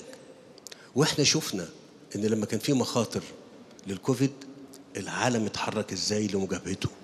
وحتى لما حصل مخاطر للحرب الروسية الأوكرانية شفنا أيضا إزاي التحرك والإجراءات تم تنفيذها بفاعلية وبحسم. إذا الخطر واضح والإرادة تتحول لإجراءات تمكننا من إن إحنا نتحرك بفاعلية. أنا هقول لكم على تجربتي في مصر. وباختصار شديد. كان دايما في دولنا اللي هي دول ال- ال- الدول النامية يعني يبقى في وعود كثيرة جدا من جانب القادة لل- للشعوب. يقول له في الانتخابات أنا هعمل لك وهعمل لك وهعمل لك وهعمل لك. ويعمل له كل حاجة حلوة أنا لما جيت في الحملة ما قلتش كده خالص قلت أنا ما عنديش حاجة أقدر اوعدكم بيها غير العمل والعمل والعمل والصبر ولم أطلق ابدا مشروع إلا عند افتتاحه اذا مش عايزين نقول وعود ونتحرك يبقى يتبقى أو ينفذ من هذا الوعد نسبة بسيطة جدا جدا قياسا بحجم الوعد. آخر كلمة هقولها فخامة الرئيس. الريادة مسؤولية. الريادة مسؤولية. لما تكون دول متقدمة وغنية وعندها التكنولوجيا وعندها المعرفة بيبقى عليها مسؤولية تجاه الآخرين الذين لا يمتلكوا ذلك. وهنا ده مسؤولية قد تكون أخلاقية وقد تكون مسؤولية سياسية. يبقى نقطة في الموضوع دوت. عندما تحدثنا عن المئة مليار دولار في الوقت دوت تقدمت باقتراح كرئيس للاتحاد الإفريقي وقلت لهم إحنا بنعرض عليكم إن البنية الأساسية القارية البنية الأساسية القارية لإفريقيا. هتحول وتغير وجه القاره والكلام ده امبارح إحنا اتكلمنا فيه في سد إنجا وحاجات أخرى كثيرة. إن ال- النهارده لو ال مليار تم ضخهم في صورة أنا بتكلم النسبة المخصصة للقارة الإفريقية على سبيل المثال تم ضخهم كل دولة كانت مخصص إنها هتدفع رقم ألمانيا كانت هتدفع رقم. فرنسا كانت هتدفع رقم الصين كانت هتدفع رقم.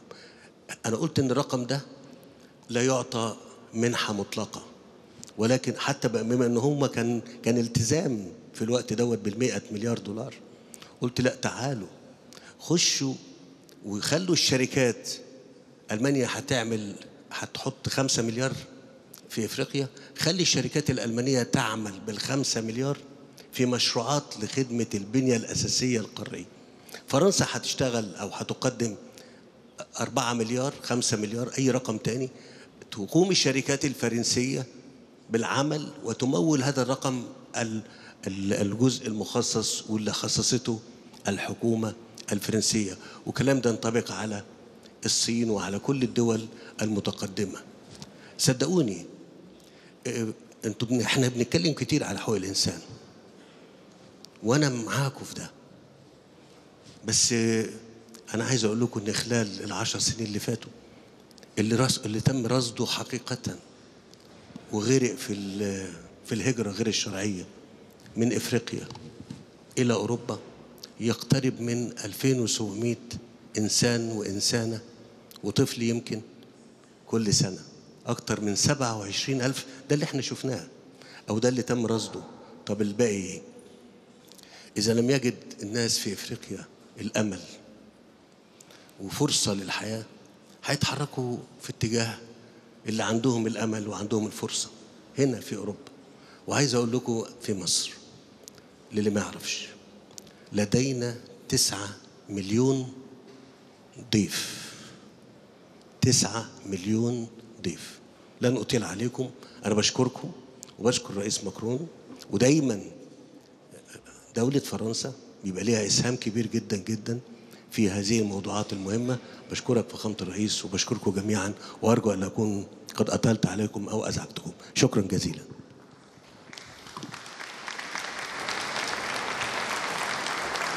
Merci beaucoup, Président. Je pense pas أشكرك شكرا جزيلا صديقي وأخي العزيز فخامة الرئيس عبد الفتاح السيسي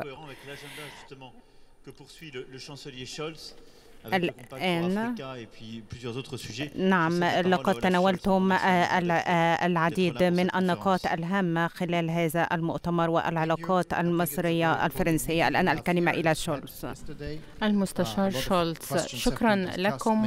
لقد ناقشنا على مدار اليومين الكثير من الأسئلة واستمعنا إلى الكثير من المقترحات عن كيف يمكن أن نكافح الفقر ونعطي فرص للتنمية وكيف يمكننا مواجهة تغير المناخ. ومعا اتفقنا على الكثير من الأشياء ومن بينها أنه ليس هناك بدائل علينا أن نعمل على كل هذه الأشياء بالتوازي وأن نواجه التحديين معا. هناك كثير من الاجتماعات التي استمعنا فيها كثير من الكلمات. ومن المهم أن نعمل بينما نتحدث وأنا أتفق للغاية مع هذا الرأي. من المهم دائما للدول المستقرة اقتصاديا أن تلتزم بالوعود التي تقدمها طوال الوقت. السؤال الأول الذي طرح هو أننا ملتزمون بكلماتنا بالتحدث عن تمويل تغير المناخ وكذلك تمويل الاقتصادات والمشروعات. كانت هناك كثير من الاجتماعات التي عقدت فيما بعد اتفاق باريس. وأعتقد أن هناك المزيد من الاجتماعات سوف تعقد في السنوات القادمة. ولكن من المهم أن نقوم بإجراءات على أرض الواقع. عندما نتحدث عن ألمانيا فإننا ملتزمون بما أعلناه وسوف نقدم الدعم المالي وسوف نحاول أن نوفر تمويل المناخ على المستوى العالمي وأطلب من الجميع أن يشاركوا معنا في هذا لأن الأمر هو تنفيذ الوعود التي نقدمها. الأمر الثاني الذي يجب أن نطلب من أنفسنا أن نفعل ما نطلبه من الآخرين.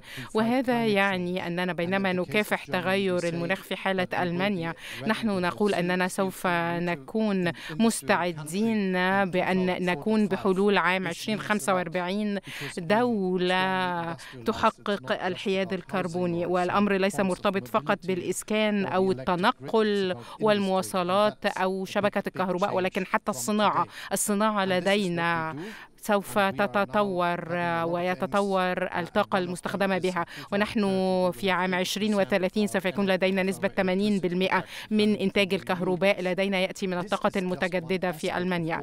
وهذا جانب من بين الجوانب الأخرى التي يجب أن نغيرها. وهذه رسالة قوية للغاية للباقين. لأننا إذا فعلنا هذا فإننا نستخدم ونطور تكنولوجيات. يمكن أن تستخدم بأسعار مناسبة في دول أخرى من العالم وليس فقط في ألمانيا. إذا الالتزام باستخدام الوقود الأحفوري دائما ما يقال أنه أرخص. ولكن إذا طورنا التكنولوجيا فإننا يمكن أن نوفر بدائل تكنولوجية رخيصة كذلك وهذا أمر قابل للتطبيق الآن. نحن لا نتحدث عن شيء مستقبلي يمكن أن نفعله فيما بعد. لكن هذا أمر نحن نعمل عليه الآن بحيث نطبق ما نقوله وبالحديث عن المسائل المرتبطة بتغير المناخ. كان هناك نقطة ثانية مرتبطة بالتمويل العالمي وأنا أرى أننا يجب أن نقوم بشيء لكي نجري إصلاحات للبنك الدولي وكذلك بنوك التنمية متعددة الأطراف.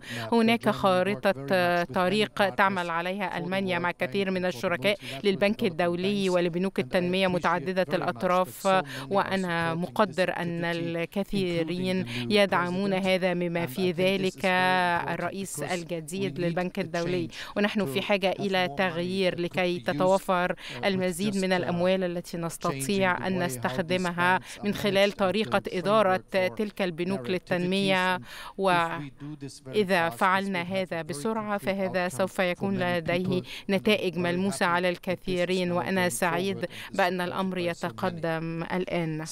ويحصل على الدعم من الكثيرين. كذلك أعتقد أننا يجب أن نحارب مشكلة أزمة الطبيعة خاصة بسبب تغير المناخ ولكن ليس تغير المناخ وحده. ونحن دولة ثرية وعلى الرغم من ذلك نواجه أزمات إذا حدثت عدة مشكلات بالتوازي مع بعضها البعض. لذلك علينا أن نعمل معا. والدرع العالمي الذي اتفقنا عليه يجب أن يتم تطبيقه الآن.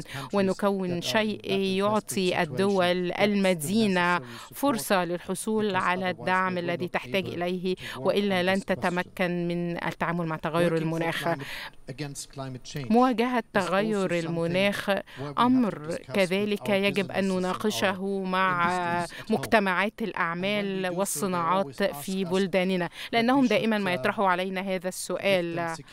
اعطونا ضمانات أننا إذا اتبعنا هذا المسار فهذا لن يمثل مخاطر علينا. ويمنعنا من التنافس مع الدول الأخرى. نعم سؤالهم حقيقي. ولكن نحن نتحدث هنا عن التعريفة لا لا نتحدث عن التعريفة أعتقد أننا يجب أن ندرك أننا في حاجة إلى شيء إضافي عن التعريفة الجمركية هناك وتعريف تغير المناخ. أعتقد أن هناك شيء نعمل عليه الآن من دول الجنوب. الفكرة هي أن نتعاون عندما يكون لدينا نفس الطموح على الرغم من اتباعنا ربما مسارات مختلفة. وهذا جانب مهم للغاية للاقتصاد العالمي بحيث نصبح جميعا في مأمن عندما تحدث هذه التغيرات الكبرى في العالم. من المهم كذلك أن ندرك أن الأمر ليس مرتبط فقط بمساعدات التنمية والتمويل على الرغم من أنه أمر ضروري ويجب أن يكون ضخما وعلينا أن نلتزم بما نقول به. ولكن أمر آخر مهم هو أن نتأكد من أن المشروعات ومجالات الأعمال تستثمر في دول آسيا ودول أفريقيا وأمريكا الجنوبية. لأننا علينا أن نساعد تلك الدول وخلق مناخ يمكن لهذه المشروعات أن تنجح من خلاله أمر هام كذلك. بالنظر إلى أفريقيا أعتقد أن الاتفاق مع الأف... مع أفريقيا. يركز على هذه المسألة وأنا سعيد للغاية بأن أرى كثير منكم في هذا الاجتماع. ونحن في برلين سوف نتحدث عن هذا الاتفاق مع أفريقيا بالمزيد من التوسع. وأنا ذكرت بالأمس أننا يجب أن نفهم أن هناك حاجة للتغيير في سياسات التجارة والطريقة التي نتصرف بها. وأحد الجوانب هي عمليات التنقيب والاستكشاف. هناك كثير من عمليات التنقيب والاستكشاف عن النفط والغاز في مختلف أنحاء العالم والاقتصاد العالمي يتعامل معه بطريقة أننا نستخرج هذه المواد من الأرض ونأخذها إلى دول. أخرى لكي يتم معالجتها هناك. بالطبع هناك كثير من الصناعات التي تحتاج إليها ولكن أعتقد أن أول معالجة للنفط والغاز التي تستخرج من الأرض يجب أن تجري في تلك الدولة التي استخرجت منها هذه المواد لأن هذا يحقق نمو في تلك الدولة وكذلك يساعد السكان الأصليين والمواطنين على الاستفادة من هذه الثروات وإلا سوف يستفيد آخرون من هذه الموارد ويصبحوا أكثر ثراء. وتظل المجتمعات التي توجد بها هذه الموارد فقيرة. دعوني أنتقل إلى السؤال التالي الذي طرح علي كثيرا وهو تبعات الاعتداء الروسي على أوكرانيا. لقد عرفنا من هذه الحرب ليس فقط أنها تمثل خطرا على سلامنا وأمننا ولكن كذلك أن هناك مجموعة من الدول التي تنتج سماد مهم للعالم. العالم وللزراعة في العالم. إذا على الرغم من أن الموارد الطبيعية موجودة مثلا في أفريقيا وأمريكا الجنوبية ودول أخرى تستطيع أن تنتج السماد إلى أنه لا زال هناك احتكارا لها من قبل مجموعة صغيرة من الدول. لذلك يجب أن نضيف فكرة تصنيع السماد في كل الدول التي توجد بها هذه المواد الخام لتصنيعه وأن ننشئ مصانع في تلك الدول بحيث نساعد تلك المجتمعات. فكرتي هي أننا يجب أن نتولى مسؤوليتنا تجاه العالم. علينا أن نلتزم بعملنا وننفذ ما نعد به. وأعتقد أنه عندئذ سوف تكون لدينا فرصة طيبة في أن نجعل العالم أفضل. شكرا. شكرا لك المستشار. Vais demander au président Ishilema peut-être de, de, revenir sur ces sujets, mais aussi sur la question de la dette, en le félicitant à nouveau pour l'accord qui a été trouvé pour renégocier la, la dette de, de Zambie. نعم سوف نقوم كذلك بالتفاوض من أجل تخفيف ثقل الديون على زامبي ولقد تحدثنا في هذه النقطة. شكرا لك الرئيس ماكرون لاستضافتنا ولكل شيء آخر ذكره بالفعل الزملاء المتحدثين من قبل. أود أن أشكرنا جميعا رؤساء الدول والحكومات الموجودين هنا. وأشكر كذلك الشركاء وأقدر للغاية أننا لدينا أطراف أخرى حاضرة معنا في هذا الاجتماع. شكرا لكم جميعا على حضوركم. اسمح لي الرئيس ماكرون بأن أبدأ بأن أفعل الأمر الضروري بالنيابة عن شعب زامبيا وهو التقدم بالشكر. للإنجاز الذي تحقق أحد نتائج هذه القمة والرئيس ماكرون على دراية بهذا أنني قد جئت هنا وطلبت أنا ورئيس الصين أنه في هذه القمة نكون قد قمنا بالانتهاء من مشروع إعادة هيكلة وإعادة جدولة ديون زامبيا. وهذه بالفعل هي أحد النتائج التي خرجنا بها من هذه القمة. شكرا للصين شكرا لفرنسا. لترأس إطار مبادرة مجموعة الدول العشرين الصناعية.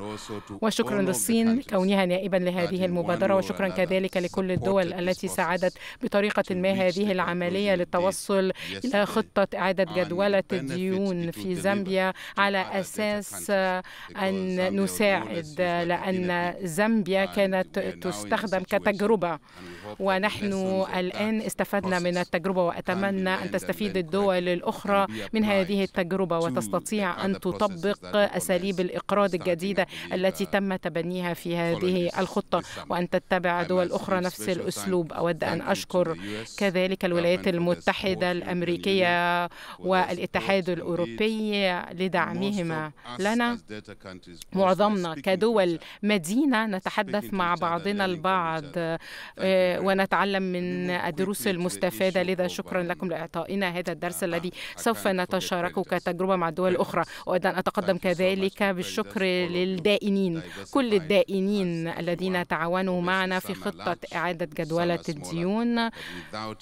دون تعاونكم لم يكن من الممكن أن نحقق هذا. أود أن أذكر كذلك أنني يجب أن أشكر شعب زامبيا على صبره لقد أخذنا هذا المشروع كأحد مسؤولياتنا قبل أن نشكل الحكومة كحزب معارض.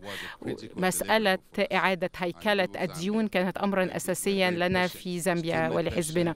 والشعب في زامبيا كان صبورا للغاية وانتظر تعديلات وعملية إعادة الهيكلة للديون. وهذا درس أنا أريد أن أشاركه مع الدول الأخرى أن القيادة مهمة على مستوى الدولة. يجب أن تكون القيادة رؤيتها واضحة بشأن ما الذي تريده وأن توضح هذا للمواطنين لأن الشعوب بالطبع لا تعرف كل شيء. لذا عندما تتحدث معهم عن إصلاحات المؤسسية والمالية يجب أن تتحدث بانفتاح. لذلك أقول أننا يجب أن نكافح كذلك الفساد. عندما تنفذ إصلاحات فإنك تواجه الفساد والفاسدين. لذلك من المهم كقادة أن نأخذ هذه النقطة في الاعتبار.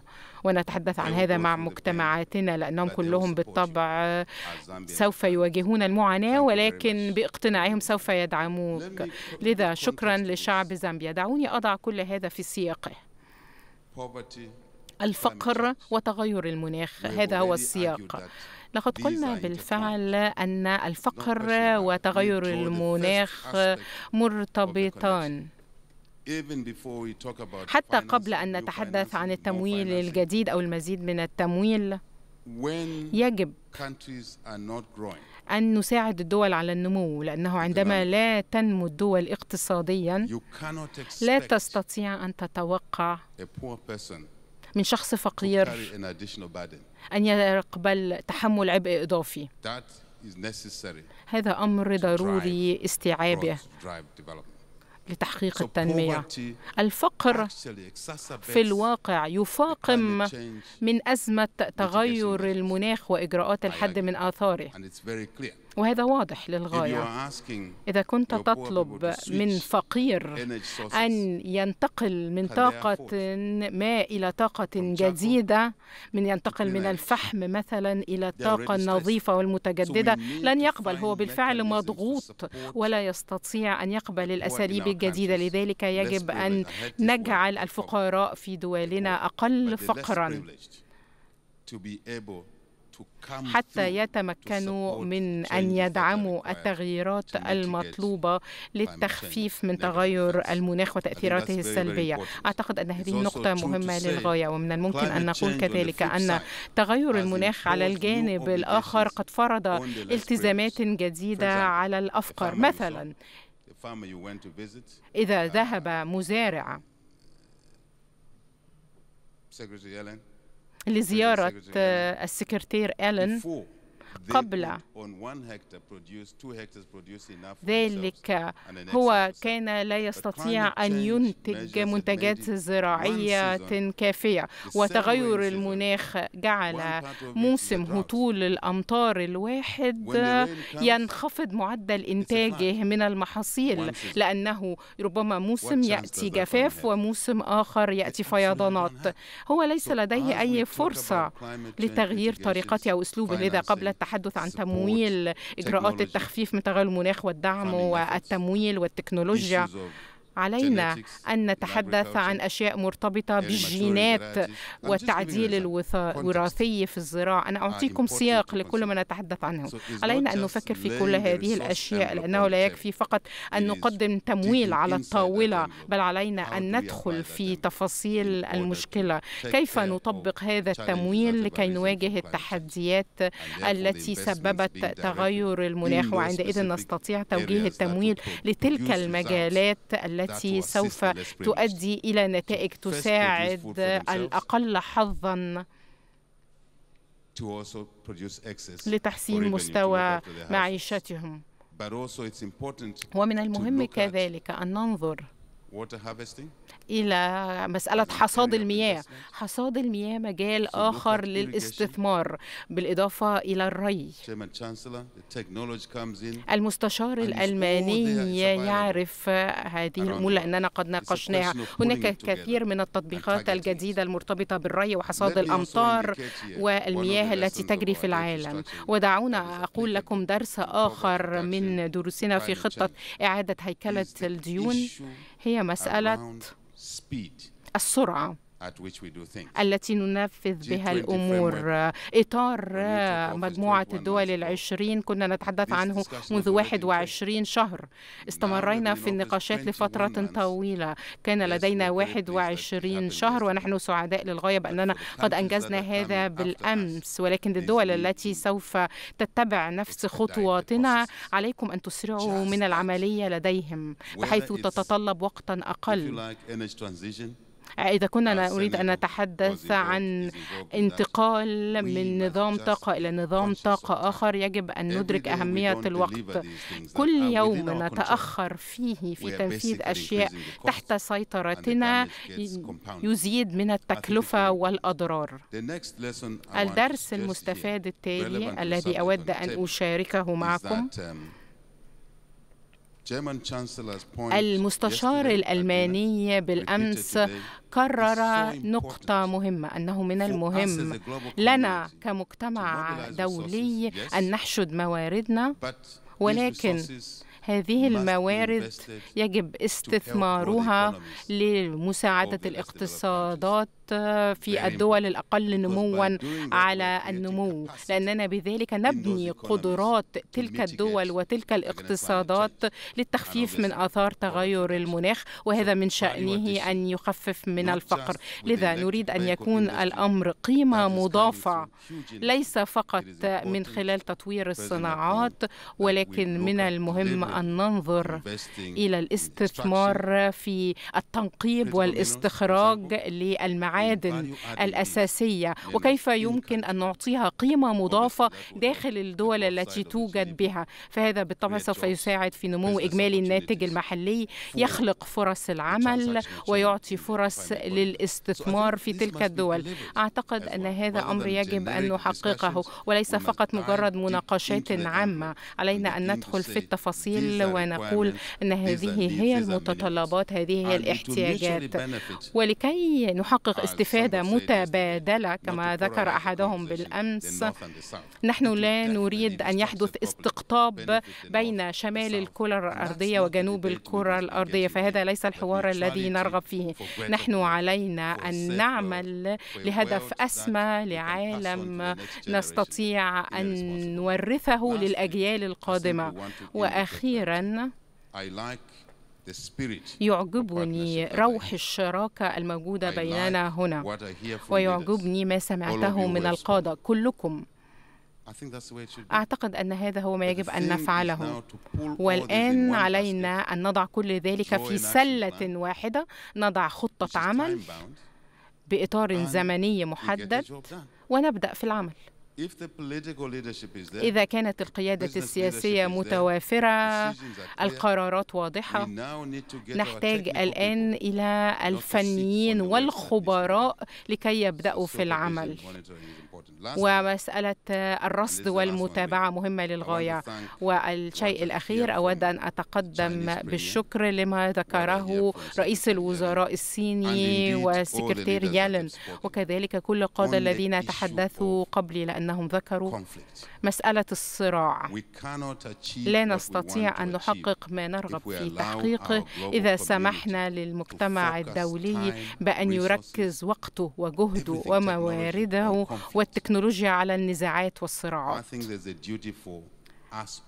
علينا التزام جميعا بأن نجعل دولنا كلها تتمتع بالسلام بدون صراعات وألا نسهم في عدم استقرار الدول المجاورة أو الدول البعيدة لأن غياب الاستقرار في منطقة ما من العالم يعني غياب الاستقرار في العالم كله. لذا علينا أن نستفيد من الموارد في التنمية بدلا من التركيز على الصراعات وتكلفة رأس المال يجب أن تكون موجودة كذلك في هذه السلة. أفريقيا مثلا تدفع أعلى تكلفة على رأس المال وهذا أمر خطأ لأن هذا لا يساعدنا.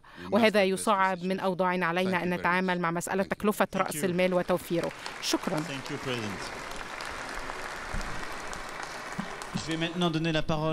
الآن الكلمة إلى الرئيس البرازيل وبعد ذلك رئيس جنوب أفريقيا إن النظرة وكذلك الرؤية من أجل التمويل العالمي ومن أجل الحد من ظاهرة الفقر والتغييرات المناخية إليك الكلمة الآن سيدي الرئيس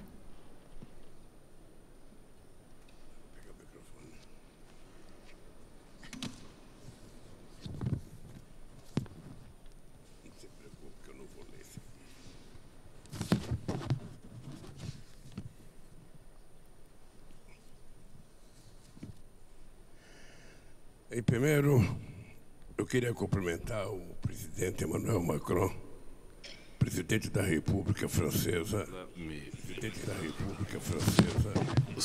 salute the President of the French Republic, Emmanuel Macron, on whose شكرا behalf I لك الرئيس ماكرون شكرا لكل الرؤساء المتحدثين السابقين والمشاركين أود كذلك. أن أرسل تحدياتي للرئيس السابق للبرازيل وكل رؤساء الدول. I also salute all of the representatives of وأود أن أتقدم كذلك بالشكر لممثلين صندوق النقد الدولي والبنك الدولي وكذلك بنوك التنمية متعددة الأطراف. أود أن أقول لك أنني قد قمت اليوم بتغيير كلمتي بعد الاستماع إلى مناقشات الأمس e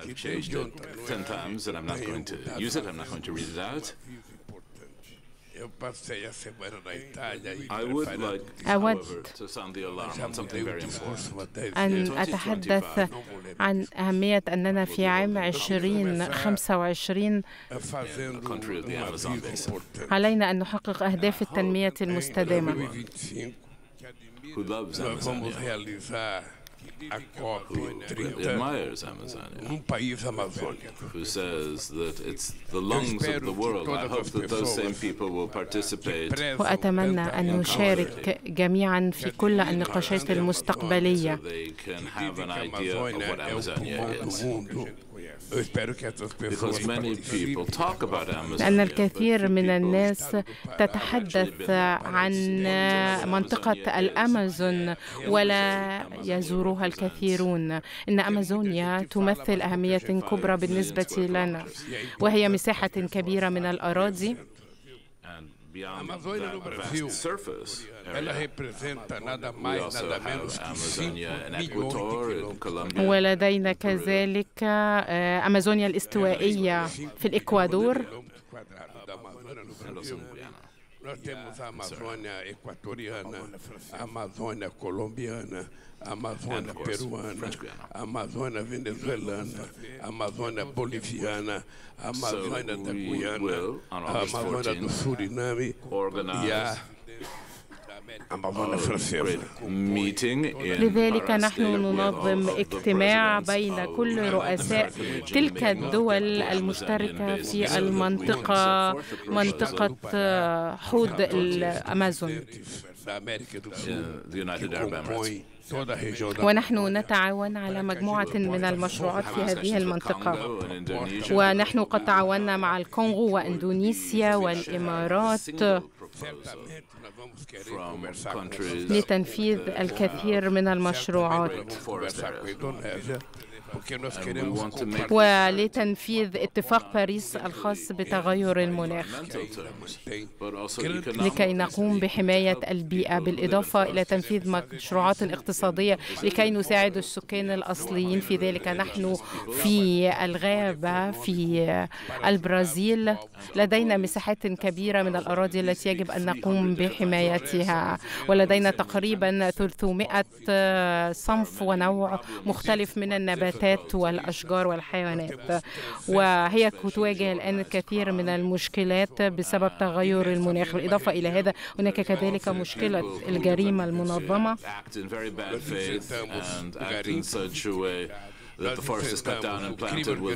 والجريمة المنظمة التي تقوم بقطع الأشجار من الغابات.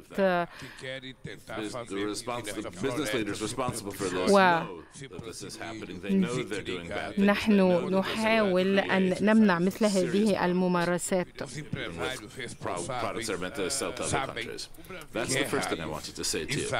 هذه أول نقطة أردت أن أذكرها لكم. ثانيا Mix البرازيل كذلك لديها الكثير من الفرص المتاحة في مجال الطاقة.